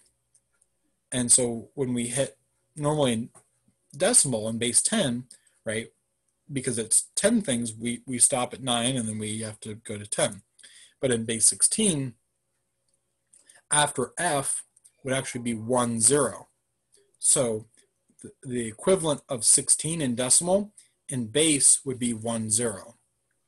Um, but the nifty thing about base 16 is for, for those of you who know the, the powers of 2, uh, 16 is 16 is a power of 2. And that allows us this relationship where the biggest number with four four digits or four bits in binary, we can store as a single digit. We can store that as a single digit in base 16. And it's much, much easier to look at this one letter or, or number, you know, this basic, this hex thing, um, than looking at all of these ones and zeros. Um, so yeah, we consider hex to be easier for our eyes. And so it's purely made for, for humans. You may have seen hex used uh, when we're talking about colors um, like when we're doing design for uh, design work for a website or, or any kind of graphical design, that we use this hex. Um, we use this hex to uh, use colors because we're able to express a lot more colors. Um, but also uh, in the back on the back end, how the color is actually stored on the computer uh, is in binary. And so we use this, we're able to take this hex and convert it to binary very easily. Uh, and there is a such thing as a, a ternary computer or base three that would be uh, you know zero, one, and two, or or negative one, zero, and one uh, that had three states. Uh, the Russians made it in, in, during the Cold War. The problem is that it was so radical that uh, people couldn't figure out how to make it work, and so they ended up abandoning the project. Uh, but it is possible, and we'll talk a little bit more about about bits later. Um, okay, so now let's actually talk about what Grace Murray Hopper gave to us um, there are these things called compilers, and they allow us to essentially take things that are human readable, um, like human re- like Hello World. So these are different compilers and environments. So not all of these necessarily use a compiler, but the same concept holds. Um, that we write something like echo hello world or see out hello world or print hello world or print hello world or system.out hello world, um, these are all relatively human readable. We can look at them and have an understanding of what's going to happen. Uh, and the compiler takes this and it then converts it to this machine language, something that the computer, that the processor can understand. And this here is in this here is in hex. It's in base 16 because um, it's much easier for our eyes. But also, if I was to if I was to show you what all the bit what, what all the ones and zeros look like, if I did this in binary, if I just took this this first this first block here, the the four these four uh, uh, hex hex digits, and converted it to binary, we would get what's down here down below. We get all of these ones and zeros. And so if I was just to convert this, I don't know, we'll call it a paragraph of hex. If we were to convert it to binary, it would take up three pages. Um, and so that's really hard to look at, especially if you have a bit flip. If, if one of those, if one of these ones and zeros gets flipped because of some mistake somewhere, um, we would very easily see that bit flip here in this nice little paragraph uh, than if we were to look at all these ones and zeros and trying to figure out where did one flip. So yeah, we don't really have to consider, we don't really have to concern ourselves with these. If you take a computer architecture class, then yeah, you need to be able to read, if, if you were handed this piece here, you need to be able to read, oh yeah, this is a syscall here. Um, but that's only for like one class that you that you really need to be concerned with. And for some reason, if for some reason you really like looking at stuff like this and understanding how this here gets converted into this thing. And this I actually made myself. This this is code that I, this is code that I wrote that does print hello world. Um, this isn't just a jumble of things. This is actually real code that I wrote. Um, but if for some reason you really like doing this, figuring out why this works, uh, there's a lot of money out there for for you um, because a lot of people don't like to do this. Um, and so th- there's some really cool problems to solve or uh, the opportunity to be able to reinvent the wheel uh, with the knowledge that we have about how computers work nowadays. Um, that gives us an opportunity to not have to use just really old code that's been laying around forever because nobody understands it and being able to rewrite it. Uh, so yeah, if you're interested in that, uh, go get a job. There's a lot of money for you. Um, but yeah, compiler converts things that are human readable into something that the machine can understand that looks more like this. Uh, and computers used to look like this. You would spend thousands and thousands of dollars and you would spend all this time programming it. And if you could get it to blink a little light or display something on a screen, you were pretty satisfied. Um, now we spend you know just a few hundred bucks on a phone that's able to play video games is able to you know, talk to people is able to text is able to, go on social medias and all kinds of do all kinds of fancy stuff and um, you would not be willing to spend a thousand dollars you know five thousand dollars on something that just blinks a little light after you spend months working on it um, so uh, very appreciative that somebody else uh, had to do that before me um, and that we don't have to do that uh, but yeah, as a, as a hobby, this stuff, this kind of stuff is cool. Um, and originally, our code used to be on these punch cards that we used to physically have to put holes in paper in order to code things. Um, so essentially, these ones and zeros here would have been physical holes or not holes in this piece of paper. And what happens if you lost a single piece of paper or that the machine, when you're feeding it in, accidentally ate one of the pieces of paper or maybe you dropped a stack of them and now they're out of order, uh, you would be pretty miserable. Um, and so there was actually a language that the the whole point of the language was that as long as you had the first punch card, uh, that you could feed in all of the subsequent punch cards in any order, and that was revolutionary um, because each of the punch cards had an ID on them that could be scanned, and that would tell. Uh, essentially, the first card would say, "I'm going to use this much memory," and then all of the subsequent punch cards would essentially say, "Hey, I'm ID blah blah blah. Put me in this spot in memory." Um, and so as long as you had the first one, you were okay. Um, but that's that's we're way past that. But a lot of the code, the vestigial structure, uh, still exists.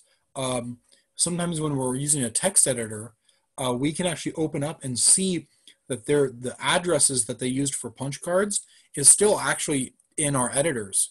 Um, a lot of that a lot of that code is still there uh, to, to deal with these. uh, and they'll stick around for probably ever um, until we re you know, until we reinvent the wheel again. Um, yeah, so it's just something to be mindful about. Okay, so this is yet another activity that we would have done, um, but I'll just I'll just sort of do a brief brief overview of, of what it, what it, what it would have looked like. Um, so there's this thing called ASCII, and it's essentially a standard for um, for every kind of any kind of uh, thing that you do on the keyboard, um, or more importantly, when it was invented on a typewriter or a teletypewriter. Um, and so there's things, for example, in ASCII like carriage return. Um, if you've ever seen somebody use a, a, typewriter, that's that where they do that swinging, where that the top of the typewriter sort of swings uh, to one from one side to the other, and that there's this dinging sound that that occurs. Um, that's actually still that is still in ASCII, and that will probably stay in ASCII for for a very long time. And Rox told me to stop on the pranks, but a great prank is that you can actually send somebody a file with that bell character, with that carriage return and the bell character, or just the bell character, um, and different systems will render it differently. Some computers will actually still make a beeping sound um, when they receive that bell character. Um, and that lives, and that, and that is something that's inside the ASCII. Um, but in this case, we're just dealing with uh, lowercase things, uh, A through Z. But if we wanted to make this lowercase, we would take this third bit right here and we would set that to zero, and then all of these would be uppercase. So this third bit here, if this was zero, would be a, a capital Z. The reason being is that uh, originally typewriters uh, only had the alphabet in uppercase, and uppercase was first. Later on, when we added, when we were adding bits, suddenly we had more functionality. Now we added this third bit, I mean this, you know, this um, uh, sixth bit, and suddenly we now had the ability to have uppercase and lowercase. And then we added these two more bits and that allowed us to have, you know, parentheses and curly braces and, and square brackets and, and dollar signs and all kinds of extra symbols um, because we had more address space to work with. Um, but what we would have done in the activity is that you would, uh, would have given everybody a bit and we uh, would have uh, played a metronome that would go tick tock um, and then you would have transmitted a message across across the room. Uh, and I'm sorry that we can't do that. Okay, last two people I, I like to talk about. Um, so we have Anita Borg, uh, and so she worked at Xerox PARC. She um, she was the chief researcher uh, at Xerox PARC, and she uh, she worked on the mouse and on oh, can everyone still hear me? Yeah. Yes. Yeah. Yes. Yeah. Okay. Still hear you. Good. Still Um, hear you. Okay, cool. My, my Zoom just froze up and then came back. Okay. Um, so yeah, so Anita Borg was a chief researcher at Xerox PARC. She worked on the mouse, um, uh, like the mouse, like the, the pointer device that we use. Um, and then she also worked on uh, Ethernet. She was the chief researcher for, for Ethernet, which is the protocol that we use to essentially con- connect all of our phones and all of our computers to, to the internet. But Ethernet is also the physical wire that allows us to plug in our computers uh, into having internet. Um, and so she she worked on that. Uh, she also is the inventor of uh, fault-tolerant Unix-based operating systems. Uh, what that means is that before before her, uh, if you wrote a bad program, you would take out the server. You would take out the physical computer, and these were big computers that were shared amongst lots and lots of people. Um, and it took hours, like minimum four hours to get these machines running again if somebody ran a bad program. And so she invented the, the, an operating system that essentially could handle bad programs. That if it detected, if the operating system detected that the program was doing something bad, it would then go and kill the program before the program could kill the computer. Um, that's why when we get like programs not responding, why we're still able to like move our mouses around and like open up a task manager and, and do things like that is because we're dealing with operating systems that are relatively fault tolerant that they can handle bad things happening and they can recover from that. Uh, she also invented the, uh, the idea um, of mass emailing. Originally emails used to be just between one person and another person and that was it you couldn't if you wanted to send an email out to a group of people you literally had to just make that same message and copy and paste it to each individual person. Uh, and that was quite tedious um, because of the systems at the time uh, you you couldn't easily copy and paste things. Um, it, it took it took a bit. Um, and then she also founded the institute for uh, women in technology. Okay last person i like to talk about margaret hamilton so um, she was the lead developer for the Apollo flight uh, computer. And right here, this is a stack of code that her and her team uh, wrote. And you notice that this, and, and this is handwritten code. Uh, there are no mistakes here. I mean, I haven't seen students with typed code not make any mistakes. Um, and and actually, I was I was just watching um, a video uh, by CuriousMarc. Uh, he, he lives over the hill, um, he just posted yesterday where he had got his hands on one of these books and they were they were practically drooling over it looking through the code because it's just so immaculate even though it's all handwritten.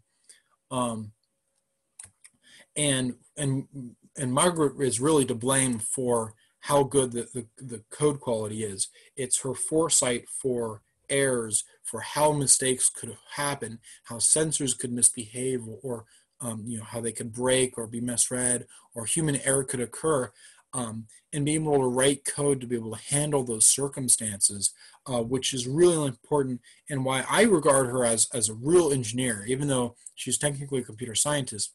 She's she's really an engineer because she she thought about how things were being used um, and, and and how to prevent them from, from breaking um, and having that foresight for errors and really is the reason why we landed on the moon multiple times.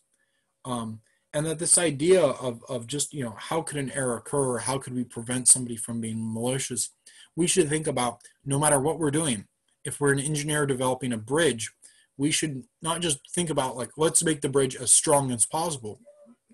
Let's make it robust to If somebody was to pull out a bolt somewhere on the bridge, that the whole bridge just wouldn't collapse. Um, that it could that it could handle uh, a little bit of malicious intent. Um, so that I think that's a really important sort of mental framework to hold is how how it, through general use uh, is whatever I'm doing going to be used and how is it going to be robust to handle those circumstances? But also if somebody is being malicious um, how can we build our system whether it's a bridge or if it's code uh, to be able to put up with uh, things going awry? Um, or if just you know components are failing uh, things break sensors uh, sensors have defects. Um, and then how do we how do we handle those those kinds of circumstances? And thinking about that uh, ahead of time versus you know on the spur of the moment. The apollo flight computer there wasn't i mean there was some of the spur of the moment stuff but all of those like all of those emergency codes that they were typing into the apollo flight computer that was already all programmed onto the computer to be able to handle those circumstances. The the, the astronauts essentially just had to tell the computer hey we've hit this case go handle the code, go handle that circumstance based on the code that you were already pre-programmed with. Um, and then Margaret Hamilton was also um, the, the developer for Project SAGE, which originally was, uh, was for uh, detecting um, missiles being launched. We now use uh, seismometers for, for, for doing that kind of detection. But now, uh, Project SAGE, almost 50 years later, um, that is how we do all of our weather predictions.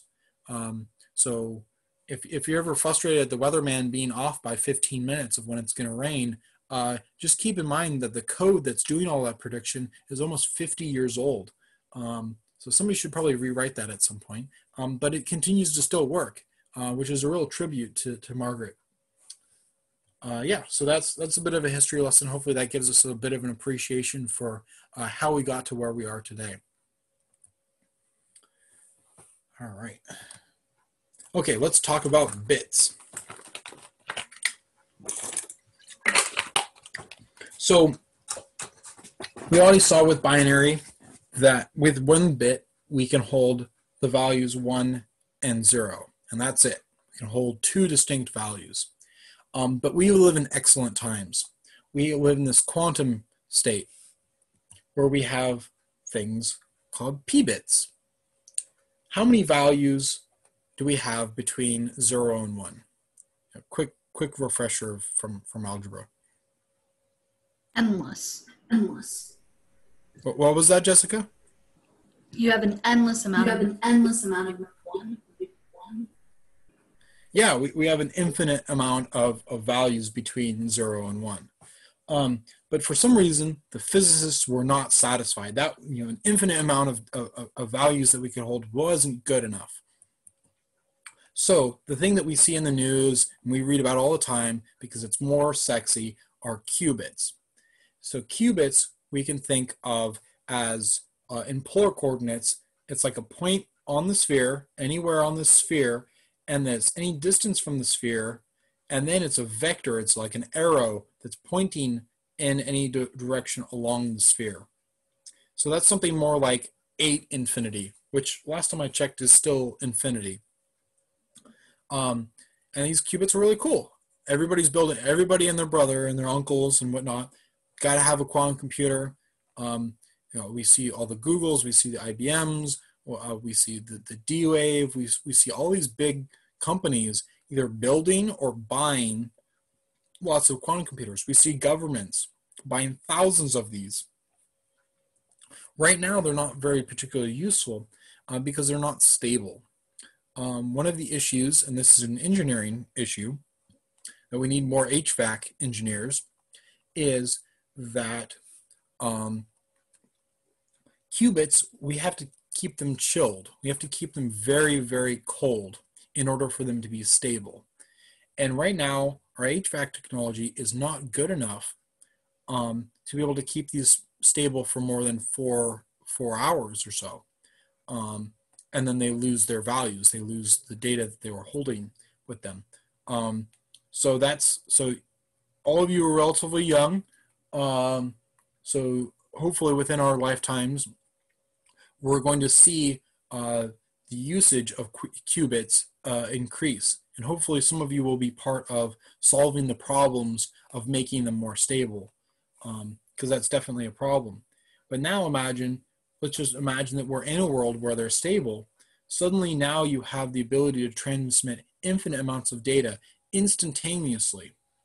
Because you're able to take these qubits, you can take two of them, and you can do something called quantum entangling where you essentially connect two qubits to each other um, over vast distances, and whatever happens to one of the qubits will affect the other qubit.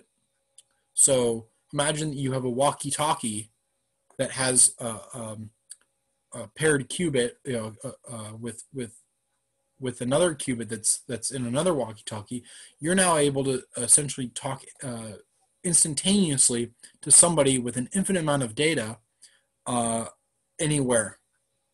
And so imagine when we have these cave-ins that happen and we're not sure if anyone survived, if somebody just, and, and the rock is too thick to get a radio signal through, if you just had a qubit radio that you could just whip out uh, and be able to talk to people and let them know your, your, your situation, that would be pretty nifty.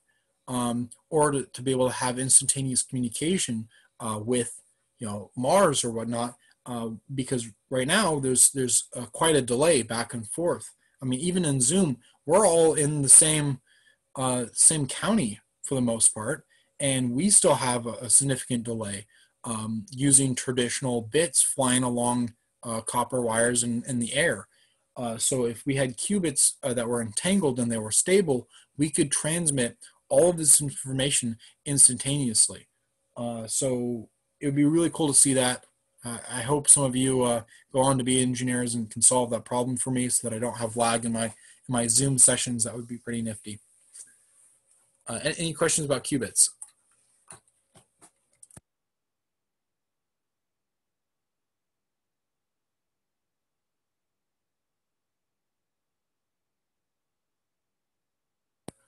Okay, seeing none, moving on. All right, let's talk about the, the various fields um, that, that, I had introduced beforehand. Um, so we have computer science. Oh, Rock, Rox is talking again. No, I wasn't. No, I wasn't. Okay, hold on, I'll meet you. okay, um, so uh, the first field is computer science, um, which is essentially we're taking existing hardware and we're making it do useful things. Um, using symbols. We're essentially able to type out symbols that the computer is able to understand, and then that causes it to be able to do extra things with whatever the hardware is. Um, so a computer scientist isn't physically building a computer or anything like that. They're taking some existing hunk of hardware and they're essentially putting a ton of symbols on it uh, that allow it to then do things that are hopefully useful.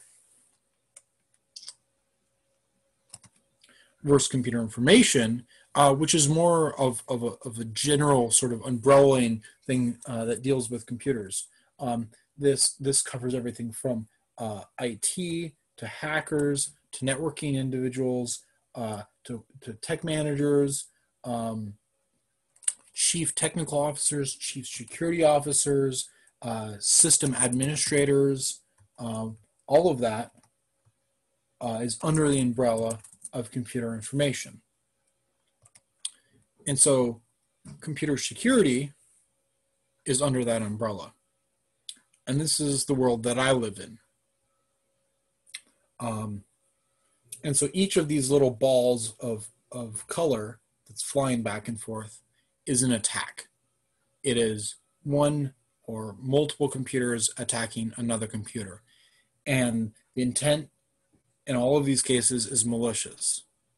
Whether it's you know, one country fighting another country, whether it's a uh, you know, somebody in their basement trying to steal somebody else's credit card information, um, that these that these are all malicious in some way. Uh, whether you're trying to destabilize a, a, centrifuge that makes nuclear material, right? We would see that as one of these little colored balls flying from one thing to another. Uh, we're not firing missiles at each other anymore. That that kind of war is is long long over. This is the kind of war that we see now, where one country attacks another with data, with trying to either prevent things from working um, or try to break things or uh, try to extract information uh, from a computer that has valuable information. Um, and imagine because nowadays we have you know, computerized so much thing, you know, so, so much of things. Uh, all of our, our infrastructure, our water pipe systems, our, uh, our gas lines, the things that turn those lines on and off, that's all computer powered and there's absolutely no protection on those systems. If you know the address of, of, of a water shutoff valve you can literally any person at home could send a command to that water pump to, to that water valve to turn on and off or or even the water pump the, the valve and the pump. Um, and if you know something about the size of the pipe and the length of the pipe you can actually pulse it on and off to cause it to explode so now you're destroying, you know, over the internet, you're destroying something physically with just telling something to turn on and off. And that would be very, very hard to trace uh, who did that with the current way that our infrastructure is built. Um, and so this is that's what I do is I try to prevent uh, or mitigate these attacks. Um, trying to build an infrastructure that's robust and can handle people being malicious and people trying to damage things. Um, yeah, so that's the world we live in. Not to be all super doomsday, but uh, we should be we should be mindful. You know, people are walking around with pacemakers that are connected to the internet um, that pretty much anyone can log into and tell it to you know cause a few extra shocks to stop somebody's heart, or um, an insulin pump that would cause them you know tell the pump to stop working, or tell it to to give a few extra shots to somebody and, and end up taking them out. Um, and so we should be very mindful that this is the kind of situation that we live in today. Uh, cars, they're connected to the internet. There was um, a reporter for Wired magazine who uh, was curious on you know, how easily his car could be hacked, and he gave permission to two uh, two guys that worked at Twitter, um, who were in a different state at the time, uh, to go and hack his car. And they proceeded to remotely, from a different state, hack into his car change the picture uh, on his on, on on the stereo to a picture of their faces and then engaged the cruise control in the car locked him out of the car and then drove him into a ditch. He was perfectly fine. I mean he was a little bit scared at how easily how easy they it, it was for them. Um, but any modern car uh, made in the last 20 years uh, and made in the next 10 years is going to have that same kind of vulnerability. Uh, so yeah, just be careful when you're buying new cars. Um, everything's connected to the internet. Um, Sorry, and if somebody I has a say- malicious, if so, yeah, what's up? Oh, uh, I got a question. So I assume in the next, you know, ten years, uh, you know, Apple, Samsung, they're going to come out with the flo- the phones that you implant in your head. Um, so from what you're saying, you would recommend not doing that. I, I never said that. So I think that we should be mindful about this Okay. and, and how Okay. and how these things are being used. Um, I mean, I I actually like the idea of being able to have my electronics on me um, and integrated into me. You know, if that means that I don't have to charge my phone uh, every two days, that would be pretty sweet. Um, If it was able just to run off of the, the heat that my body was generating, but that it's that the the rights that I have as an individual who maybe would be implanted um, are very important. So, for example, I have a few friends who have cochlear implants. Um, they are uh, implants that allow you to sort of hear. Um, they, have, they essentially put incisions in the cochlear nerve and then put these wires in, into your into your brain into your brain that allow you to, to sense sound information. Um, and one of the biggest problems that I have with it is that pretty much all of the companies who are manufacturers of it do not allow people to ha- have any knowledge of the kind of the chip or any of the code um, that's running inside their brain.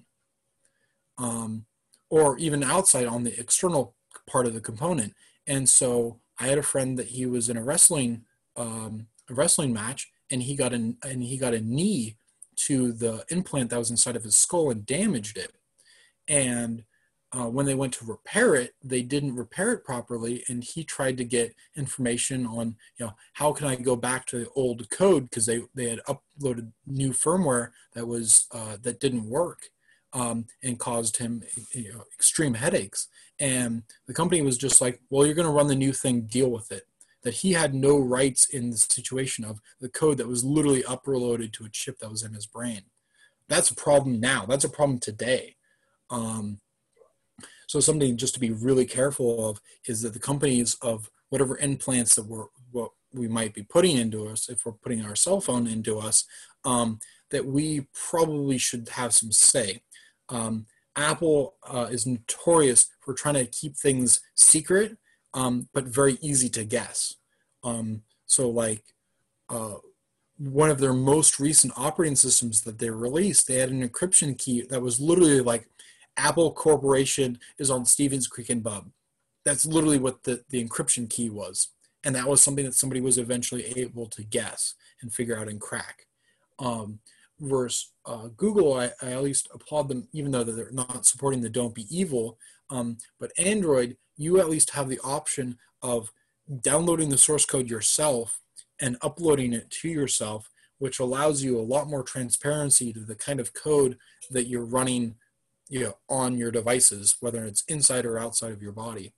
Um, so something to be mindful is the kinds of things that you are allowing close to you, if it's pacemakers or insulin pumps or whatever, that the companies are allowing people to look at them and to fix the problems um, and that they're being as transparent as possible um, because not everybody is.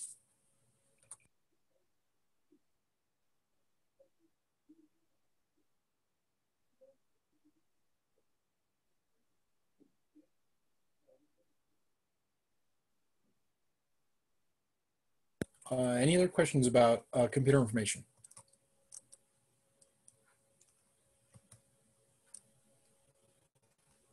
And, and when we talk about robots, I'll, I'll actually talk uh, a little bit more about um, about those those topics. Um, okay, so then the last one is computer engineering. Uh, computer engineering is essentially merging all of those fields that we've already talked about together. It's merging the electrical engineering part. It's it's merging the computer science part. It's it's merging the computer information studies part. Um, and yeah, requires a great deal of knowledge in all of them. So you have all your you have your- all of your fingers in all various different soups, um, and uh, it pays very, very well, um, but requires a great deal of schooling. Uh, does anyone know what this thing is on the top right of the screen? This this blob here. And actually, let's go back to my pointer. This blob here.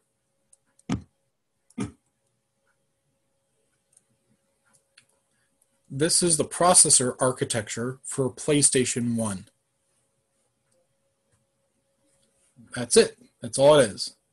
You know, something that's able to do some addition and subtraction, uses subtraction with the sign extender, and it does a little bit of multiplication by running this multiple times, and that's it, and some memory.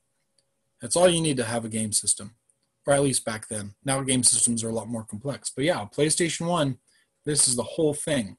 And so as a computer engineer, not only do you have to design this whole layout, but you also have to say, okay, this ALU, this thing that does uh, arithmetic, so arithmetic logical unit, um, that does addition and subtraction, maybe multiplication, what component out of the you know, billions of components that we could choose from, what component is the appropriate component to stick right here and how to con- and how do we connect it to all of the other components to this multiplexer to this thing that allows us to select one input or another input. Um, you know, what kind of component would we use that's compatible with the L- ALU that we chose? That's all up to the, the computer engineer to figure that all out.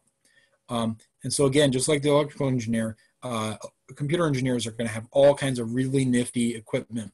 And actually their equipment's even more expensive because they have uh, logic analyzers um, which are quite pricey and very, very nifty creatures. Um, yeah, so electrical engineering requires you to know, know everything. Uh, it pays even better than being an electrical engineer, and that pays pretty good too. Okay, let's talk about cake. So I went to the cake store, and I went to get a cake, and they asked me, what do I want on my cake? And I, and I told them nothing. So I come back the next day to pick up my cake, and to my dismay, there's nothing on my cake. So I was like, okay, fine. I have a picture. It's on this flash drive, and I'm gonna I'm gonna just hand them the. They asked me what I want on the cake, and I hand them my flash drive, and I come back the next day to pick it up, and there it is, my flash drive on the cake. What am I getting at? You might ask. Well, for a human to human interaction, that might just be somebody being a smartass. But for computers, we have to tell computers exactly what we want. Because the word literally, not like what a teenager says when they say literally, but like the actual definition of the word literally, means written exactly as it is meant to be interpreted. Something is either true or it is false, it is either one or it is a zero, computers are really not good guessers. We have to tell them exactly what we expect from them, right? We had a really bad day. We come home, we slouch onto the onto the, the couch, and we tell our robot, our, our robot friend, oh, kill me. Right? We don't want that robot to kill us, right? We're just trying to express that we had a really bad day but the robot has no way of knowing that that's what we mean unless we program that specifically. Like, hey, if you hear the keywords kill me, that means I had a bad day. Um, the thing though is that then what happens if somebody actually has the intention of saying kill me? Now it, now it thinks that the person's being sarcastic and is just trying to express that they had a bad day. Um, and so that's the that's the issue that we run into is the computers are really not good guessers we have to tell them exactly what we want from them. And that and that may entail us programming in um, specific behaviors based on specific phrases that we might say that mean the opposite thing. Um, so just like the word literally we would literally have to program that in to mean the opposite of literally which might just cause the robot to catch fire um, or I mean that in metaphorical and physical sense uh, of literally. So just like our vocabulary, how we use words uh, isn't consistent with our meanings, and so that's something that we need to be mindful about whenever we're interacting with computers or robots. So somebody asked me to build a gingerbread house, and I was being a smart ass. So here's my gingerbread house. I'm assuming all of you are rolling on the floor laughing because you're all you're all muted. Okay, let's talk about algorithms. An algorithm is a series of step-by-step procedures Uh, for performing calculation. Okay, good. Appreciate it. All right. Okay. An algorithm is a series of step by step procedures for performing calculations, performing data, or, or, sorry, processing data or performing actions. So I'm sure that in the morning, uh, you go through this, this cycle that's on the right side. You go from a sleeping state to a wake up state, you check the alarm clock. If it's too early, you go right back to sleep. There's this very clear process that you follow. And once it's eventually not too early uh, and you have to wake up, you instead stand up for your rights. It is unethical to wake up a human being at this time in the morning. We should all be allowed to sleep in. Know, things along those lines. But essentially, it's just like making a peanut butter and jelly sandwich. That's all it is. We're just making peanut butter and jelly sandwich. We're, you know, taking taking uh, one slice of bread, throwing peanut butter on it, another slice of bread, throw, throwing jelly on it, slamming them together, shoving it into our face hole, and we got we got, got ourselves a delicious delicious sandwich. But really, uh, we can think of it like a flow chart that we have. And I'm going to give you. I'm going to start off with these these four basic things. We got our terminator. We've got our. Um, let me move this. Can I move this other way? Excellent. Um, we've got our terminator, which is used for starting and, and ending things. Um, we've got our process box, that's for doing stuff. We've got our decision diamond. Sometimes this is a triangle, and this is for branching out and doing various things. And then we've got our input and output. So here's an example. We have our terminator. We start it up. Say, do we have homework? If we don't have homework, then let's do some engineering stuff. And we continue this cycle until finally we have homework. And then can we procrastinate? Can we do it later? Now you do engineering stuff, and now you're in this bigger loop. And you're always in this bigger loop until you've procrastinated way too much. You finally got to do your homework. That's a process. You do the homework, and then you turn it in so that you have output. Your output is you turning in the homework, and then you go right back to the beginning. Notice that there's no escape from this loop. There's no ending terminator. Uh, and that's just life. There's no escape. Um, but flowcharts are really important methods of communication or just documentation in general, which um, no matter where you go, if you are going to be an engineer, you've got to you've got to nail these things down. You've got uh, because a flowchart can help you break down uh, a task that might be massive. You might have no idea. Uh, it just you might look at it and go like, "There's no possible way that a human being could do this." And if you're able to sort of break up that task into individual things of, okay, well, we're going to start here. We're going to do this thing, or based on this decision, based on this input of like, okay, is the soil sandy versus is it is it rocky? Um, or we're going to do this thing instead of this thing, and that allows you to to make this clear flow chart of exactly the process that that you're going to go through. Um, and the, the nifty thing is that you can, I mean, you can use it just for yourself to help break down a problem to be able to solve it and to sort of pick at it, uh, pick at it one, one piece at a time. But it also allows you to communicate with other people, to be able to share with other people. Um, for example, one of the companies that I worked for, we were um, we were building something that uh, did um, uh, did held private keys. It was essentially like a vault for um, for credit card number generators and, and national ID number generators, um, something that had to be relatively secure. And um, I'm sure all of you are familiar with the new credit cards that they have the little chip on them. Um, we were using those uh, for the DoD, uh, for the Department of Defense. Um, and that is how we authenticated with this device that would allow us to essentially generate more keys and uh, that would allow us to generate these these, these numbers that were used in, in ID systems. Um, and so one of my jobs was to essentially um, get the company at a state where we were building these devices that would work properly and would make sense in the way that you would plug in authenticate to them, and allow somebody to uh, plug in their cards and type in their PIN in a certain order, um, and then would eventually grant access to the to the device. Um, and so I made. Oh, Zoom did the thing again. Can everyone still hear me? Yes. Yes. Okay, Yeah. fantastic. Yeah. Okay, cool. I- Um, all right. Okay. Um, so I was able to essentially spend about 30 minutes, made a flowchart of the procedure of okay, you plug in the card, you type in the PIN, then you hand the device over to this other person. They plug in their card, they type in their PIN, and then after this happens, you know, three of the five people that are required for quorum, the device unlocks and allows them to generate that key. Um, that I was that I essentially made that flowchart. It took me like 30 minutes to, to write up. And then I was able to hand that flowchart to an engineer. They were then able to build the device and, and, and program the device to do that. That took them about a month.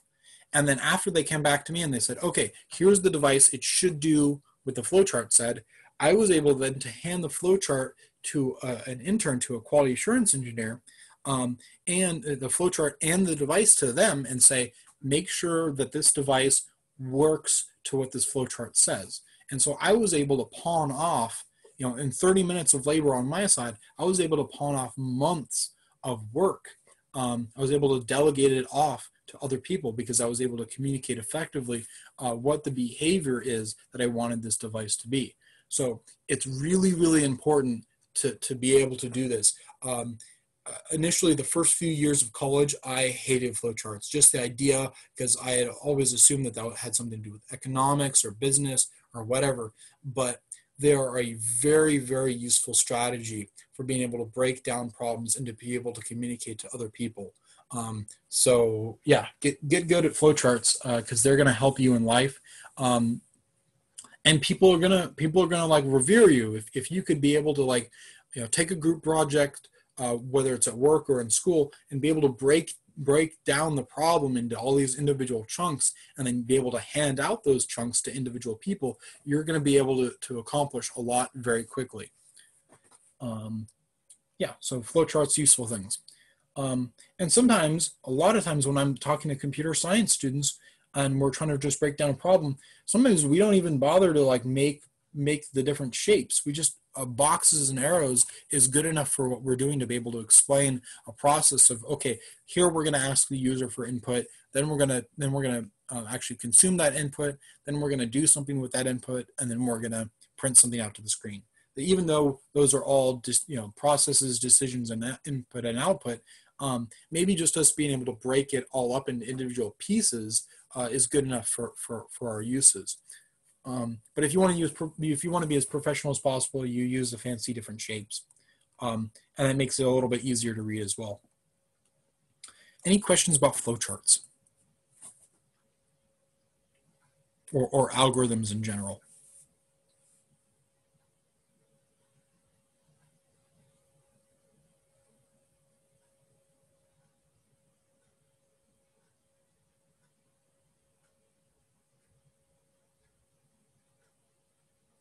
Okie dokie. Moving on. Right, so peanut butter and jelly sandwich. Put put jelly, put peanut butter, slam them together, shove them in your face. Delicious.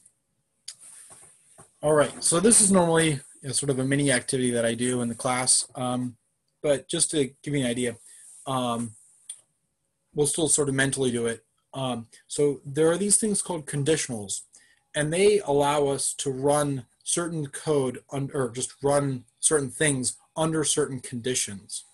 Um, and so like if I needed to filter out the class pretty quickly, I could have a condition that is if your shirt is black or white, and then I want them to say hi. That's how I would do it. And then maybe I want to know everybody who ha- didn't say hi, which means that they didn't ha- they don't have a black or white shirt. I want them to stand up. And so that's how I would write that code is right here. I would say, if your shirt is black or white, say hi. So everyone would say hi. And then anybody who didn't say hi, um, they're going to stand up. And so now suddenly I have a classroom with, you know, ha- half of the class uh, standing up. And so then I now need to get them to sit down. And so I might have another condition that says, if you like pizza, sit down. And there's of course always you know some you know smart aleck somewhere that's like, oh, I don't like pizza. So I say, if there's a whiteboard in the room, sit down. Uh, and there tends to be always a whiteboard in the classroom. And just in case, I also always have a whiteboard, uh, at least one in my backpack. Um, so I can guarantee at the at the end of all of this um, that everybody is in fact sitting down again. Which is an important thing to be mindful about conditionals is that you can you can construct them in a way that always guarantees you a, particular outcome, um, irregardless or sorry, just regardless of the um, of the input. If you want a particular output, you can structure the conditions to, to, to work a certain way. And we'll see that in, in one of the activities that we will be able to do. So then we have these things called loops. And a loop is exactly what it sounds like. It's the action of doing something over and over again. Um, so I'm sure that you, um, I don't know fairly recently, but maybe when you were younger, you asked your parent or guardian if you could have ice cream. And that you immediately you initially assumed that the answer was no. And only if the response is yes are you done and you've successfully gotten your ice cream. So what happens is that if the response is no you ask them can i have ice cream? And you continue this infinite loop until they tell you yes you can have ice cream right? Can i have ice cream? No. Can i have ice cream? No. Can i have ice cream? No. Can i have ice cream? Yes. And success you've gotten your ice cream. And so this could be an indefinite loop. This loop could run forever until the heat death of the universe um, where you didn't get your ice cream but the universe ended because you know you ran out of time. Um, and so this loop up here you don't know how many times it's going to run because they might say yes the first time. But another kind of loop that you might have is what we would call for loop that has a, a set number of time based on an input. So uh, I'm sure that on a road trip, based on your age, is the number of times that you um, okay um, the uh, based on your age is the number of times that you ask are we there yet and so we've just got more clever at asking it the older we get. Have we arrived at our destination? Or, or whatnot. Um, and so there's your age of six, then we run this loop, we run this same block of code six times to ask, are we there yet? And so this loop here, the number of times that it runs is determined by this input. Versus here, the input, the um, you don't know how many times it's going to run because each time you take input, it's going to, it may extend it or it may delay it. So here we take input once. Here we could take input once, but we might take input an infinite amount of times. So those are loops, just the action of doing something over and over again. And it could be a very complicated operation. So now let's combine those two things. I got one. Oh, what, what's up? I got one. I got one. You got what? Uh, a loop I could use. Uh, a loop I could use. Okay. It's uh, can, I, can I use the restroom? Can I, use the restroom? Go for it. I, I know how to escape that, uh, or I don't know. Can you?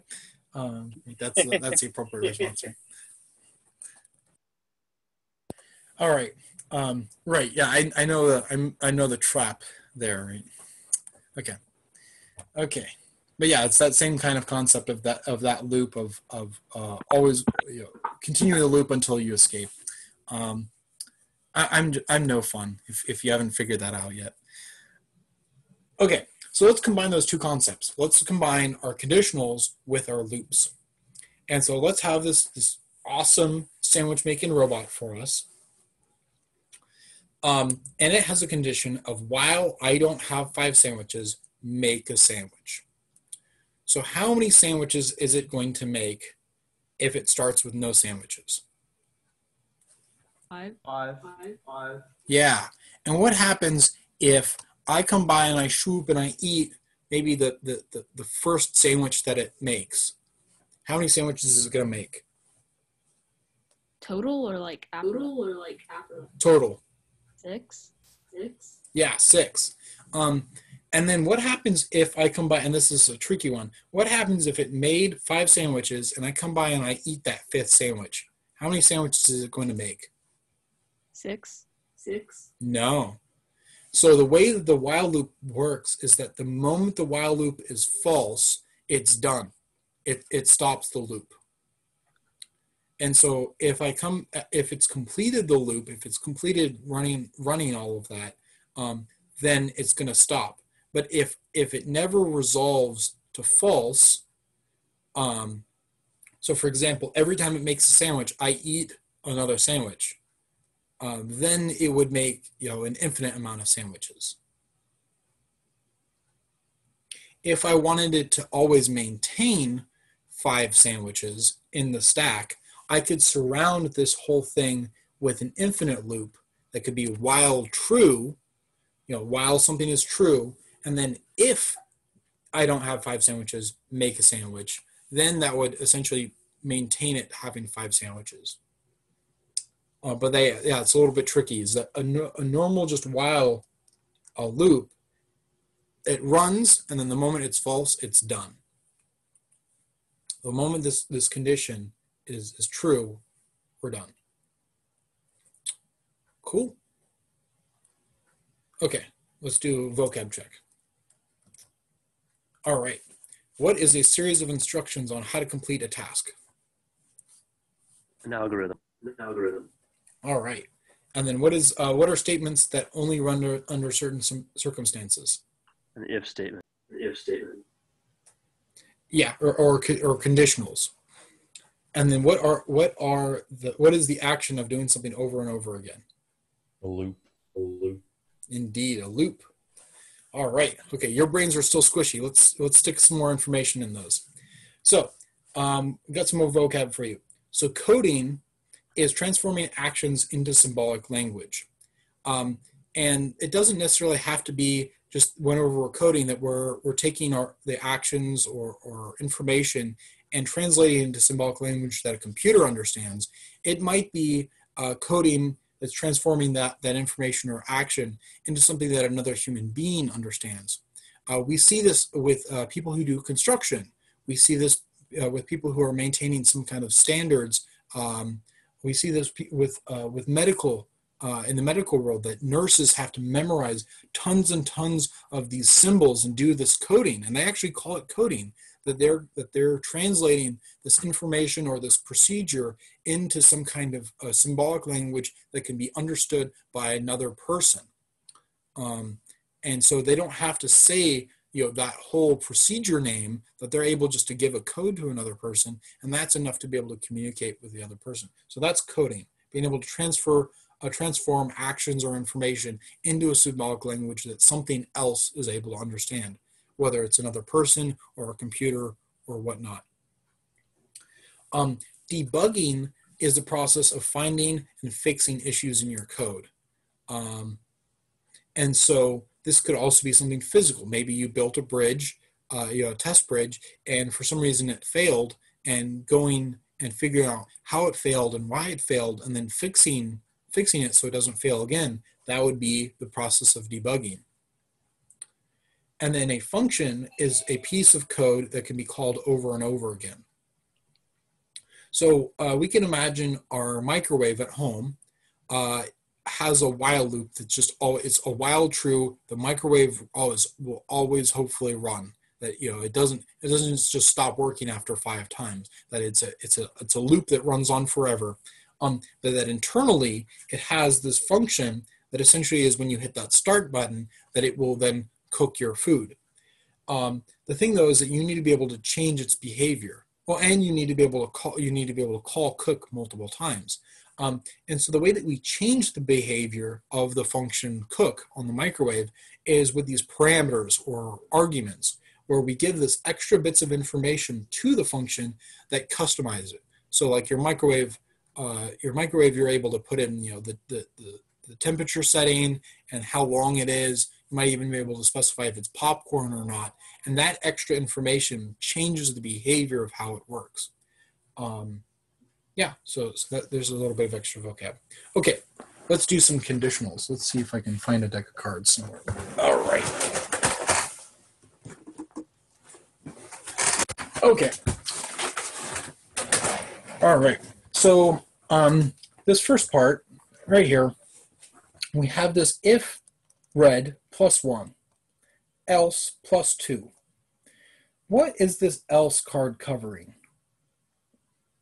Anybody who has knowledge of, of a deck of cards?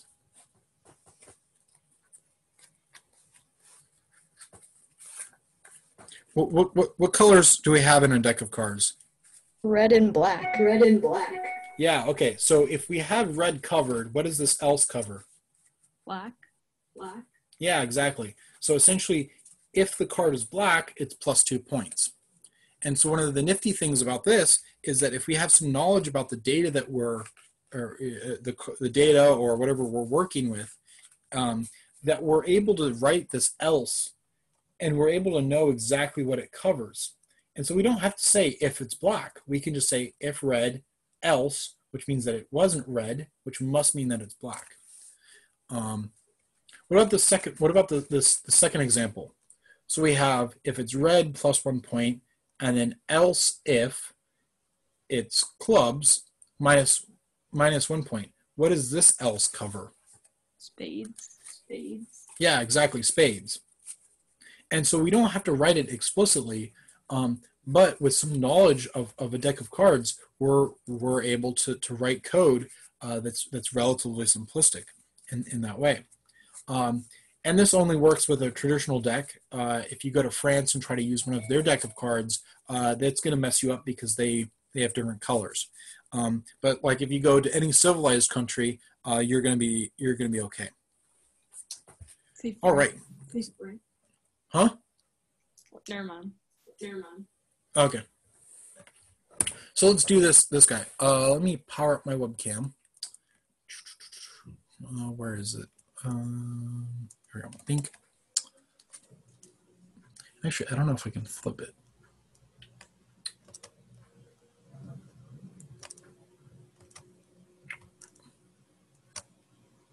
Okay. All right. Let's see. Uh, okay. Is that backwards for everyone? Or is it just me? Uh, it seems right. Seems right. Okay, so you can you can see that number?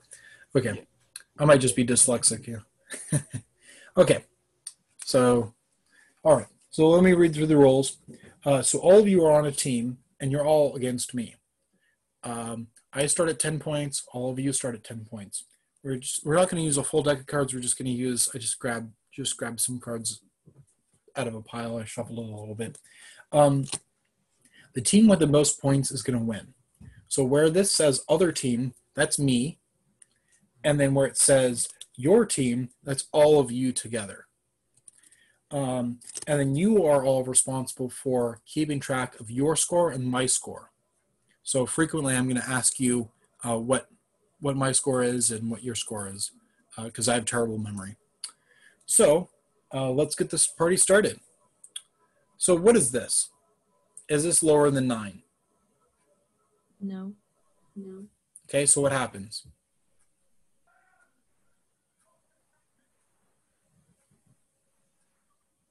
You award your You team award your team points on the card. Card. Not quite. So No. this if here, this block, this purple oh, oh. block, this Oh, inner, oh, yeah. So it's not lower than nine. So this else happens. So what happens? The other team loses point. Okay. So what am I at? Uh, not nine. Nine. So what, what am Negative I one. at? Negative one. No. What do we all start out with? Ten. 10. So you're at 10. Yeah. So You're at ten. Nine. are you sure? Yes. When it says other team, when, when it says other team, what does that mean? You. You. Us. Yeah. You have nine points. You points. have nine points now. Yes. And what are you at? And And Okay. What about here? What what happens here?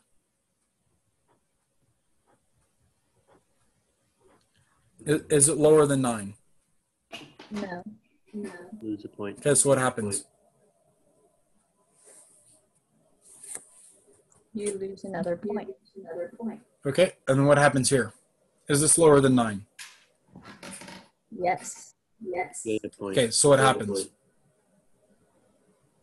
What happens? Nine. I gain a point. What am I at now? Ten. Uh, Nine. Nine. What am I at? Nine. Nine. What are you at? Nine. What are you at? Ten. Ten. Okay, Ten. you're still at 10. Ten. Okay, there we go. Okay, now what happens? Is this lower than 9? Yes. Yes. Okay. Is it black?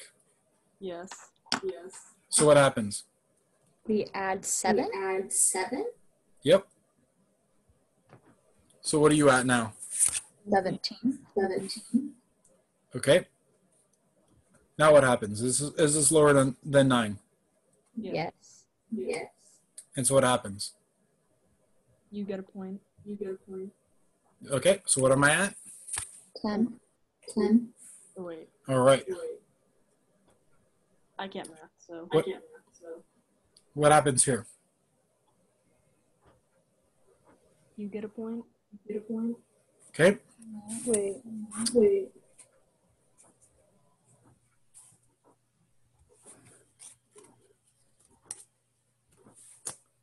So what am I at?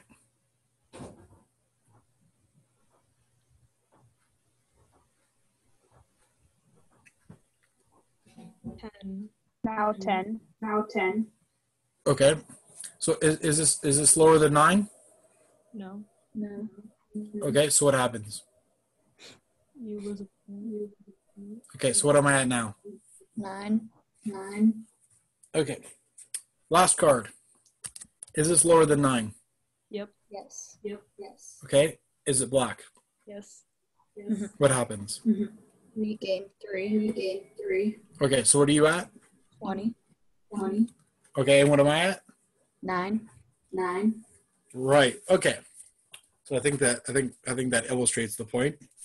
Um was there any way with a standard deck of cards that I could win? No. No. No. No. Right. I I essentially was losing it and gaining points. Uh, I was actually losing points faster than I could gain them. Uh, versus you guys, you were gaining points at, at a very quick rate. Um, and so this was us using conditionals to, to have a, particular outcome occur. Right? The deck was literally stacked against me. The rules were stacked against me. Now, do you think that maybe a casino does something like this, but in the reverse way? They're able to make rules that seem relatively fair, um, but in in um, in their way, they're able to make the rules so that in most cases, in 99% of the cases, that they win but you look at the rules of the game and you say, oh, that looks pretty reasonable. Um, so conditionals can be used to, to, to essentially cause a particular outcome to occur that you want to have happen or to be able to handle those circumstances.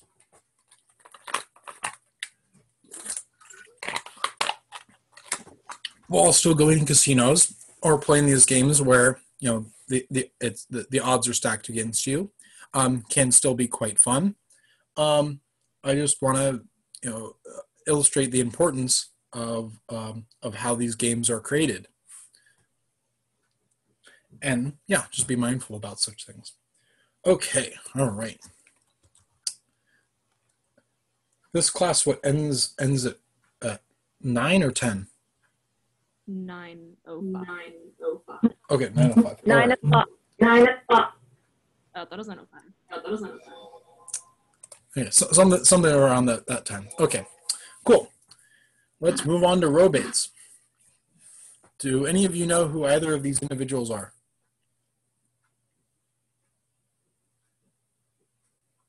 That's Daft Punk on the left. Daft Punk on the left. not not quite.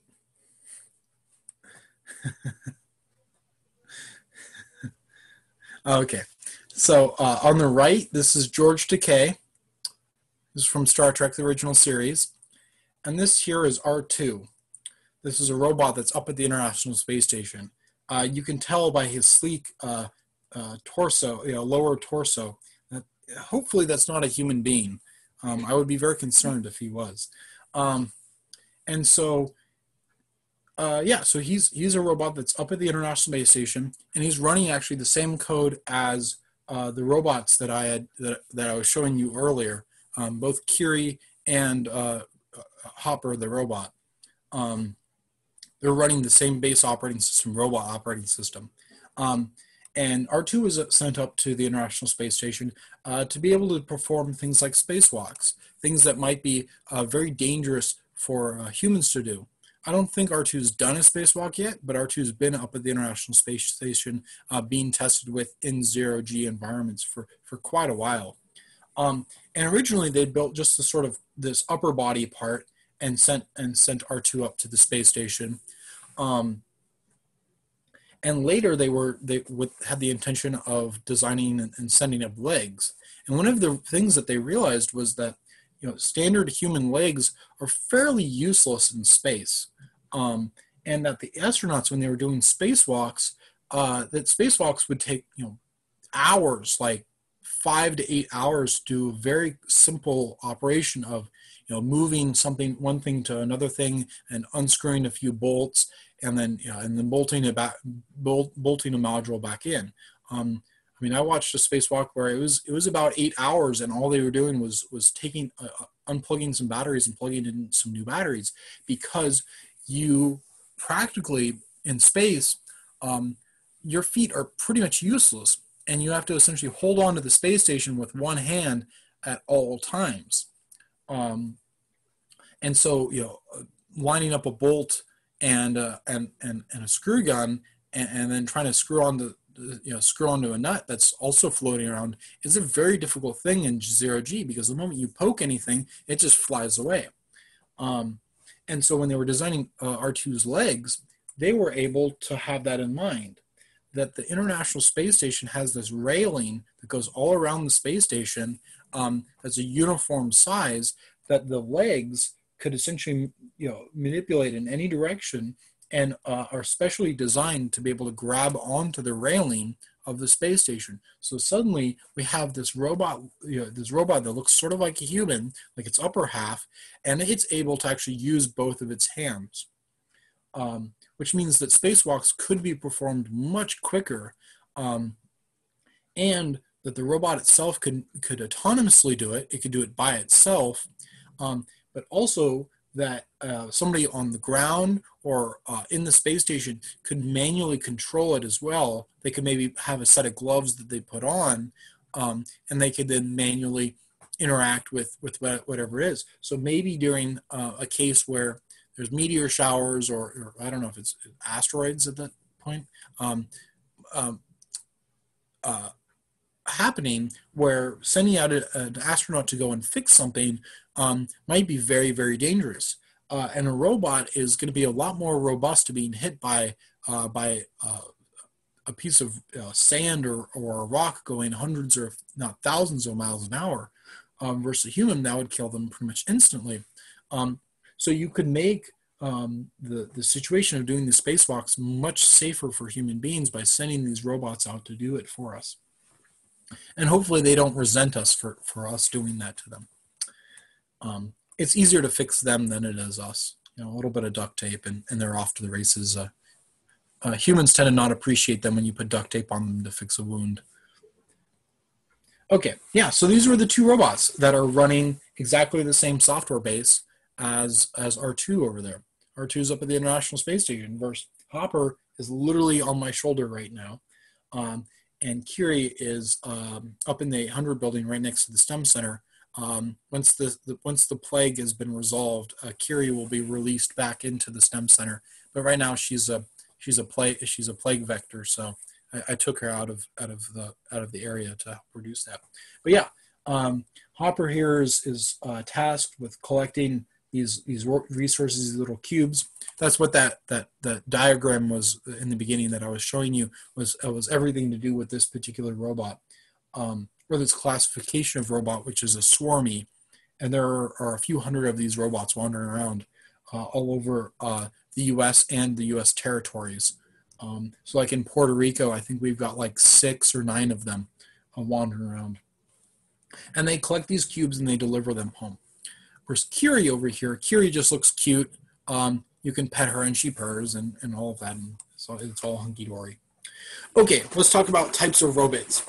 So I, um, I like to do a lot of generalizing and sort of breaking down robots into two distinct categories. One is a remote control or tele-robot. This is where all of the decision making is on the human the human is the one that's ultimately deciding what's happening. We can also call this semi-autonomous. Maybe you have a quadcopter that's floating in the air and you hit a button, the human hits a button that says stay put. That drone has to, or that quadcopter has to make has to be making tons of lots of little decisions of I need to apply a little bit more power here and a little bit of power here, and I need to you know move back to my original position because maybe a gust of wind blew it blew it out of the way. But ultimately, the human was the one that made the decision of it to stay there. It just has to have, make all these little micro decisions um, on how it's going to then achieve that task, and so that's considered semi-autonomous. But in in the case of a bomb squad robot, you don't want any of that. You want it to be immediately remote control. You want that you press a button, it does a very particular thing. Um, and so that is a strictly remote control robot. Um, versus the other type of robot that we have, which are autonomous robots, um, where all the decision making is based on the environment and data input. That there's not any kind of like human at the controls physically moving a joystick back and forth, but the robot itself is, is doing all, all the driving itself. Um, and we can watch a video, but essentially what happens is that these have these giant platforms that are like screws that they screw up and then they pick up this shelf and then they drive around and deliver that shelf. And so uh, here's, here's a video. I'm just gonna mute that. Um, but essentially you get the idea that these robots are essentially able to drive around and they're able to pick up these shelves and deliver them to, to locations. And so there's a human called a picker that these robots bring to. And so here's a picker right here. And that was it. Um, and so what the picker does is that they essentially stand uh, stand put, and the shelves are brought. Um, the shelves are brought to the picker, and there's a little laser that then shines on the spot where the picker needs to grab the thing out of the out of the spot. And they throw it in the box and they hit a giant button and that tells the robot hey i got the item out of the out of out of the shelf and i put it in the box. And that tells the robot that hey you're done with that shelf and the robot can then come and pick up that shelf and go deliver it where it needs to be. Um, and that also tells the other robot that's holding the box um, that hey you've put that item in the box and if that's the last item it's then going to you know take that box off somewhere else um, not all of the fulfillment Amazon centers use these. Only a few of them do. Um, there's still a lot of them that require people to physically walk you know, tens of miles uh, on a daily basis to go to the shelves and pull things out. Um, but the idea being is that the, right now, the, really the, the only human, uh, only humans that are required um, ultimately would be somebody to pick, you know, pull things out of a shelf um, that the shelf is coming to you. Um, and that the area that these robots are operating uh, is very confined to just robots, and that the robots are able to scan these tags that are on the ground uh, to be able to communicate with each other um, where they are. And when they see this tag, they also know where they are, um, which is useful. And this tag is an April tag. It's exactly the same cube uh, that we see on the, the resources that, that Hopper here has in our gripper. Um, yeah, and so they're able to localize themselves by these little stickers on the ground. Um, and they go quite fast and are very heavy uh, and do not want to be run over by them. And so humans are not allowed in the area that these robots are performing in.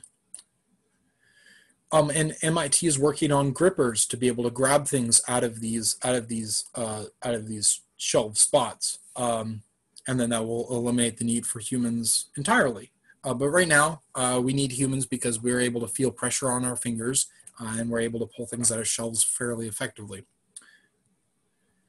All right. Uh, another field of, of robotics that doesn't quite fit in types of robotics is bionics. And bionics is essentially the application of biological methods and systems found in nature to the study and design of engineering systems and modern systems, and vice versa. So the idea of us being able to, to see things in, in nature and then apply those concepts to engineering and the other way around, be able to take things from engineering and apply them to nature. Um, and so we have some you know, beautiful things that we might see. We might see uh, taking the wheel, a concept that's an engineering concept, and apply it to a biological being like a pig. I'm sure that in nature you've never seen a pig with wheels, but once you pair the two, uh, it's a, actually a quite effective thing uh, to do for a pig that otherwise couldn't um, mosey around on its own because maybe it has a defect in its legs. Or that we see bugs in nature and that we're able to essentially reproduce them with circuitry. Or that we're able to replace uh, various limbs um, with, with robotic limbs. I've actually seen I've actually seen one where they, they they didn't even bother to make it look anything like a human limb, and they, they instead made it a tentacle that could that could articulate in both you know in both directions. Um, because suddenly you don't have to deal with joints anymore. You could design any kind of arm that would work in any fashion. Um, or uh, I'm sure that, that some of you have seen an exosuit. Um, uh, the, there's this one here. Uh, it's out of a graphic novel uh, thing. I, I, think it's called an Iron Man. Um, and there are military grade exosuits that I cannot show you pictures of. Um, but there are these consumer grade exosuits like this one that otherwise somebody who would be wheelchair bound, um, they're essentially able to strap themselves into this and they're able to uh, control it around. And it's essentially these platforms that just you know are, are, able to walk by themselves. You stick a human being in it, and voila, you're you're off to the races. Um, but also, we have ways of augmenting um, humans uh, with things like this is a cochlear implant that we were talking about earlier. Um, this is essentially able to communicate with a chip that is uh, inside the skull that has uh, lots of little electrodes that are uh, tied into little incisions on the cochlear nerve. And this is able to essentially have a microphone that receives sound, interprets it to uh, you know, something into, into electrical signals, sends those electrical signals through, through a little antenna, that's then received on the part that's inside the brain or inside the skull, uh, and then that converts it into electrical impulses again uh, and delivers that to the nerve. And suddenly you are able now to have somebody have some semblance of a sensation of sound. Um, and for some reason, for some people, this is this is quite effective, and other people uh, not so much. Uh, so where do we see robots? Well, we, we see them pretty much everywhere in pretty much every industry right? We see them in space. Uh, robots have pretty much beat us to, to every planetary body that we're going to be going to, and they'll probably continue to beat us uh, for, for a long time because it's, it's very feasible to send them there first to judge the environment for us. Um, and this robot, to give us a perspective of how big this is, this is about the size of a suburban. That's a giant. It's a giant vehicle. Um, you know, it's, it's, it's a pretty big ro- rover, and we think about rovers as these cute little tiny things that like like the thing that I have sitting on my shoulder. Um, that's you know a little a little smaller than my torso. Um, but this robot here uh, is is as big as a very big, very large car. We also see it in manufacturing. One of the nifty things is that you don't have to pay them, you don't have to feed them, um, and they can run fairly continuously um, with very limited breaks. Uh, typically, uh, automotive factories, we power them down for about four hours per week, and that's just to reduce the um, electromagnetic field. Um, yeah, and, and robots don't tend to get bored doing the same thing over and over again. They're actually very, very good at that, as opposed to humans, where you tell a human to drill a hole in a particular spot over and over again, um, they're start going to start to get bored, and they're going to start, you know, adding in some inaccuracies. They're going to be, you know, drilling the hole in crooked and doing all kinds of things. So uh, having having robots take over those roles makes a lot of sense to do that tedious work, and then you can take the people that were previously working on, you know, the, you know drilling those holes and they can now supervise the robots that are drilling the holes or help develop the code that would uh, have the robots uh, do that. And suddenly now those people are able to affect on a much larger scale a lot more manufacturing. Um, then cars. I, I, promised you i would talk about cars so there, there's the cars. So this is a little google car. Um, we see self-driving cars popping up all over the place. Uh, ford has a has applied in California for a driver's license for their car. So you could literally buy a car that has a driver's license itself, which means that you don't even have to have a driver's license, and the car could then drive you around, and it could also drive itself around without anybody in it. Um, well, that may be initially a very scary thought. If we think about it, if a car makes a mistake, and there's thousands of this particular car out on the road, you can correct that mistake in code and deploy it to all those cars simultaneously. So imagine the car doesn't see the ledge of the road and it drives and it drives off um, and hopefully doesn't hurt anybody. Um, that the car has a lot of extra sensors and we can analyze those sensors. Sorry. we can analyze those sensors to then prevent that from happening again and then we can deploy that fix to lots and lots of cars all simultaneously. Versus, say we have a teenager who's just now learning how to drive and they drive off the road because uh, they didn't see the line.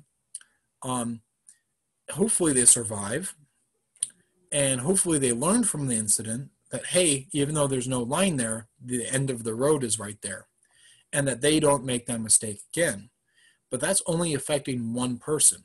So they had to make that mistake. So each of those teenagers that you know drive by that spot, they all each individually have to make that mistake, and that may in, introduce uh, enormous amounts of risk to their health and their safety. Versus a self-driving car, um, if it ever does make a mistake, the hope is if it's done and handled properly, then all of those cars only would make that mistake once in the sense that it, only one of them would have to make that mistake and all of them could benefit and learn from that mistake. So I'm a lot more willing to self uh, to trust a self-driving car um, based on just that very concept. Um, I agree that them being able to have the distributed knowledge and be able to share information like that uh, can be very detrimental. Somebody could definitely abuse that, and that's something that we should be mindful of.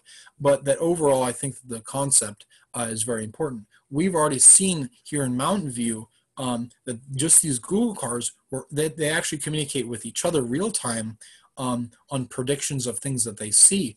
And one of them had actually seen a bicycle that was doing some very erratic things, and it was able to tell another uh, another one of the same car, "Hey, there's a bicycle. It's heading towards your intersection, uh, and it is in one of your blind spots." Um, because the lasers have blind spots because there, maybe there's another car or there's a pole in the way um, and that literally the, the, driver behind the wheel uh, or i mean the person behind behind the wheel um, of the google vehicle it literally just stopped in the middle of the intersection and the guy was freaking out he's like what's going on and then you know the, a bicycle zooms right by um, because the other google car was able to communicate to that car that something dangerous was going to happen um, and we also see it in the medical industry. We see the, the ability that a surgeon can move their, their arms a great deal and that it just moves the robot in a very small fashion. And this also allows us to replay and record um, uh, uh, surgeries and that eventually after enough machine learning uh, happens that the robot itself could perform the surgeries so in this case right here this is essentially the robot is assisting the surgeon that the surgeon is able to make very large movements um, and that the robot will convert them into very tiny mo movements. Okay. Um, we are skipping that.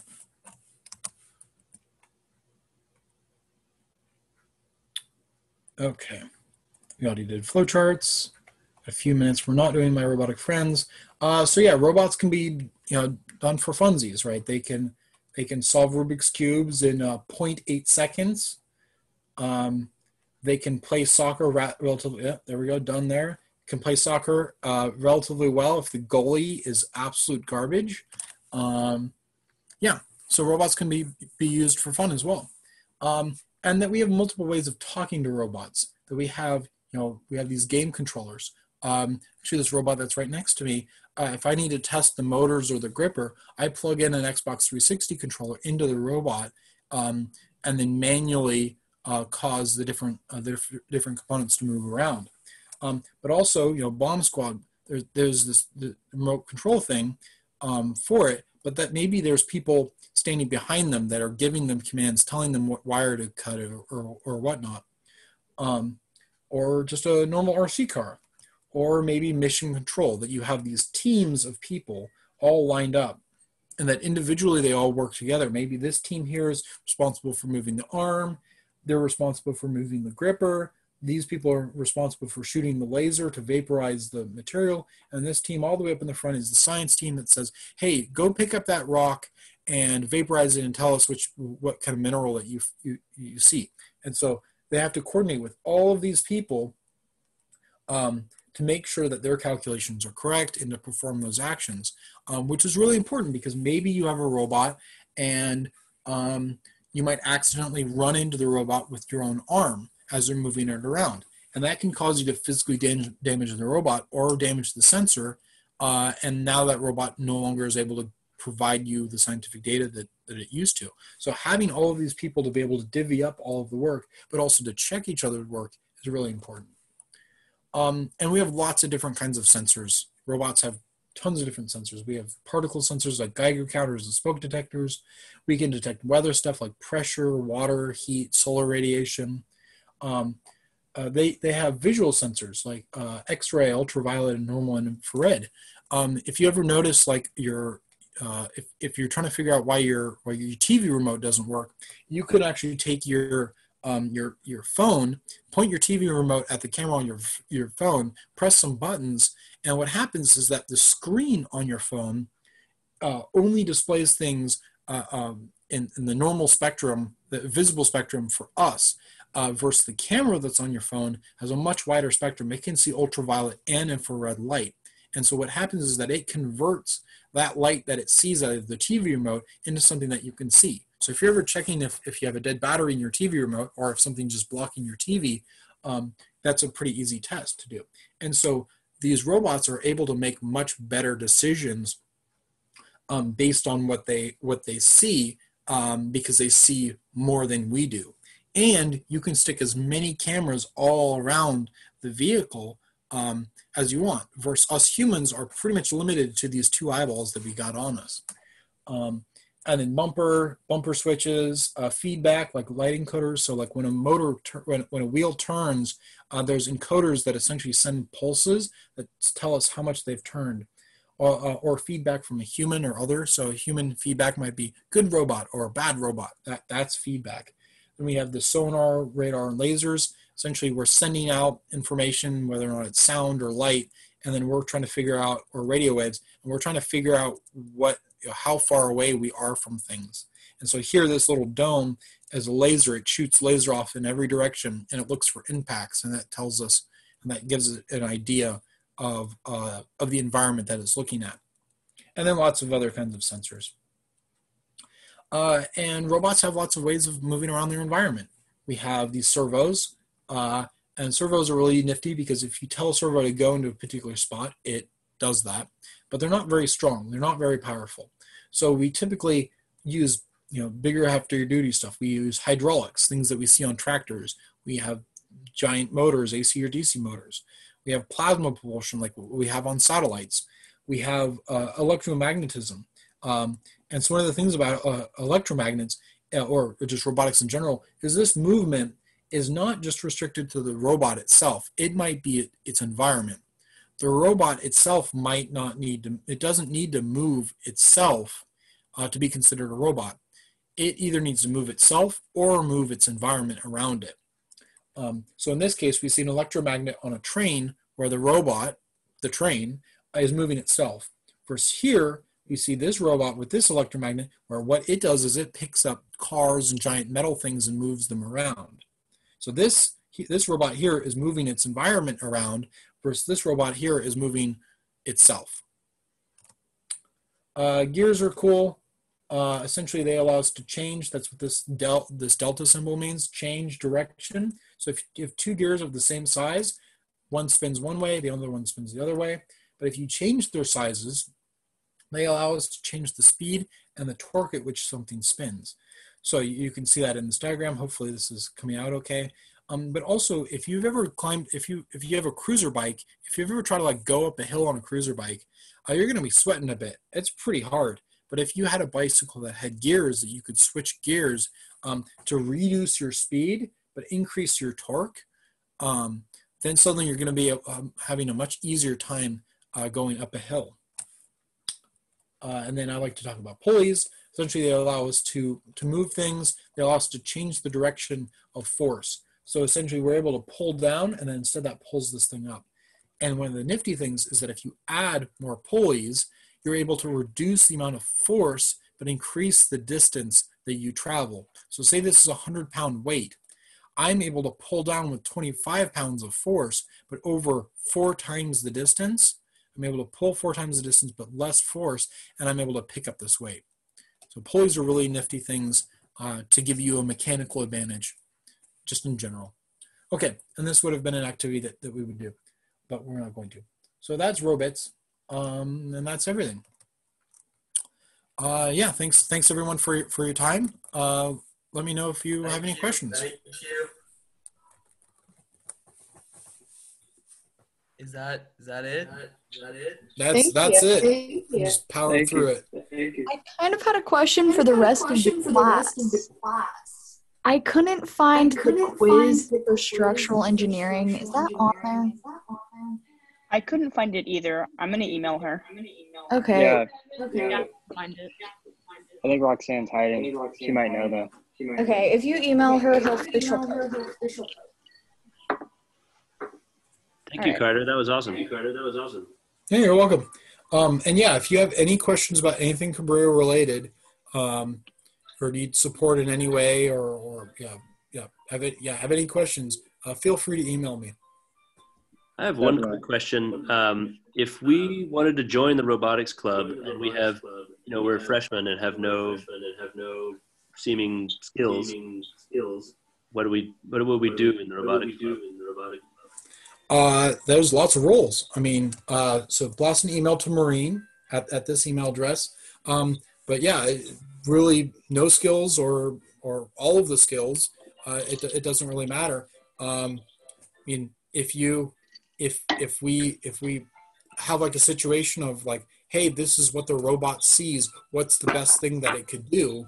Um, that doesn't really require any, any experience with programming or anything like that uh, to be able to sort of come to that decision. And that's one of the most difficult things about ro- about robotics is uh, what do we do given the situation?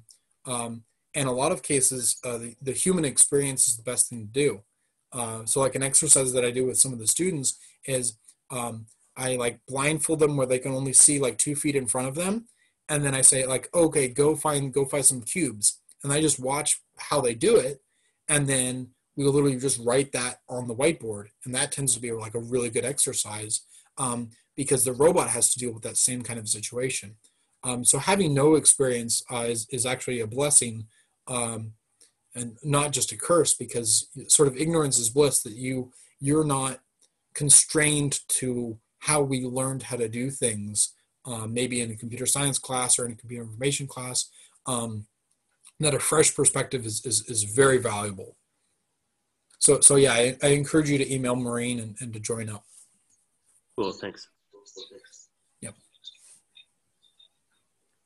on the announcement that the quiz will follow at a later date. Oh, cool. Oh, cool.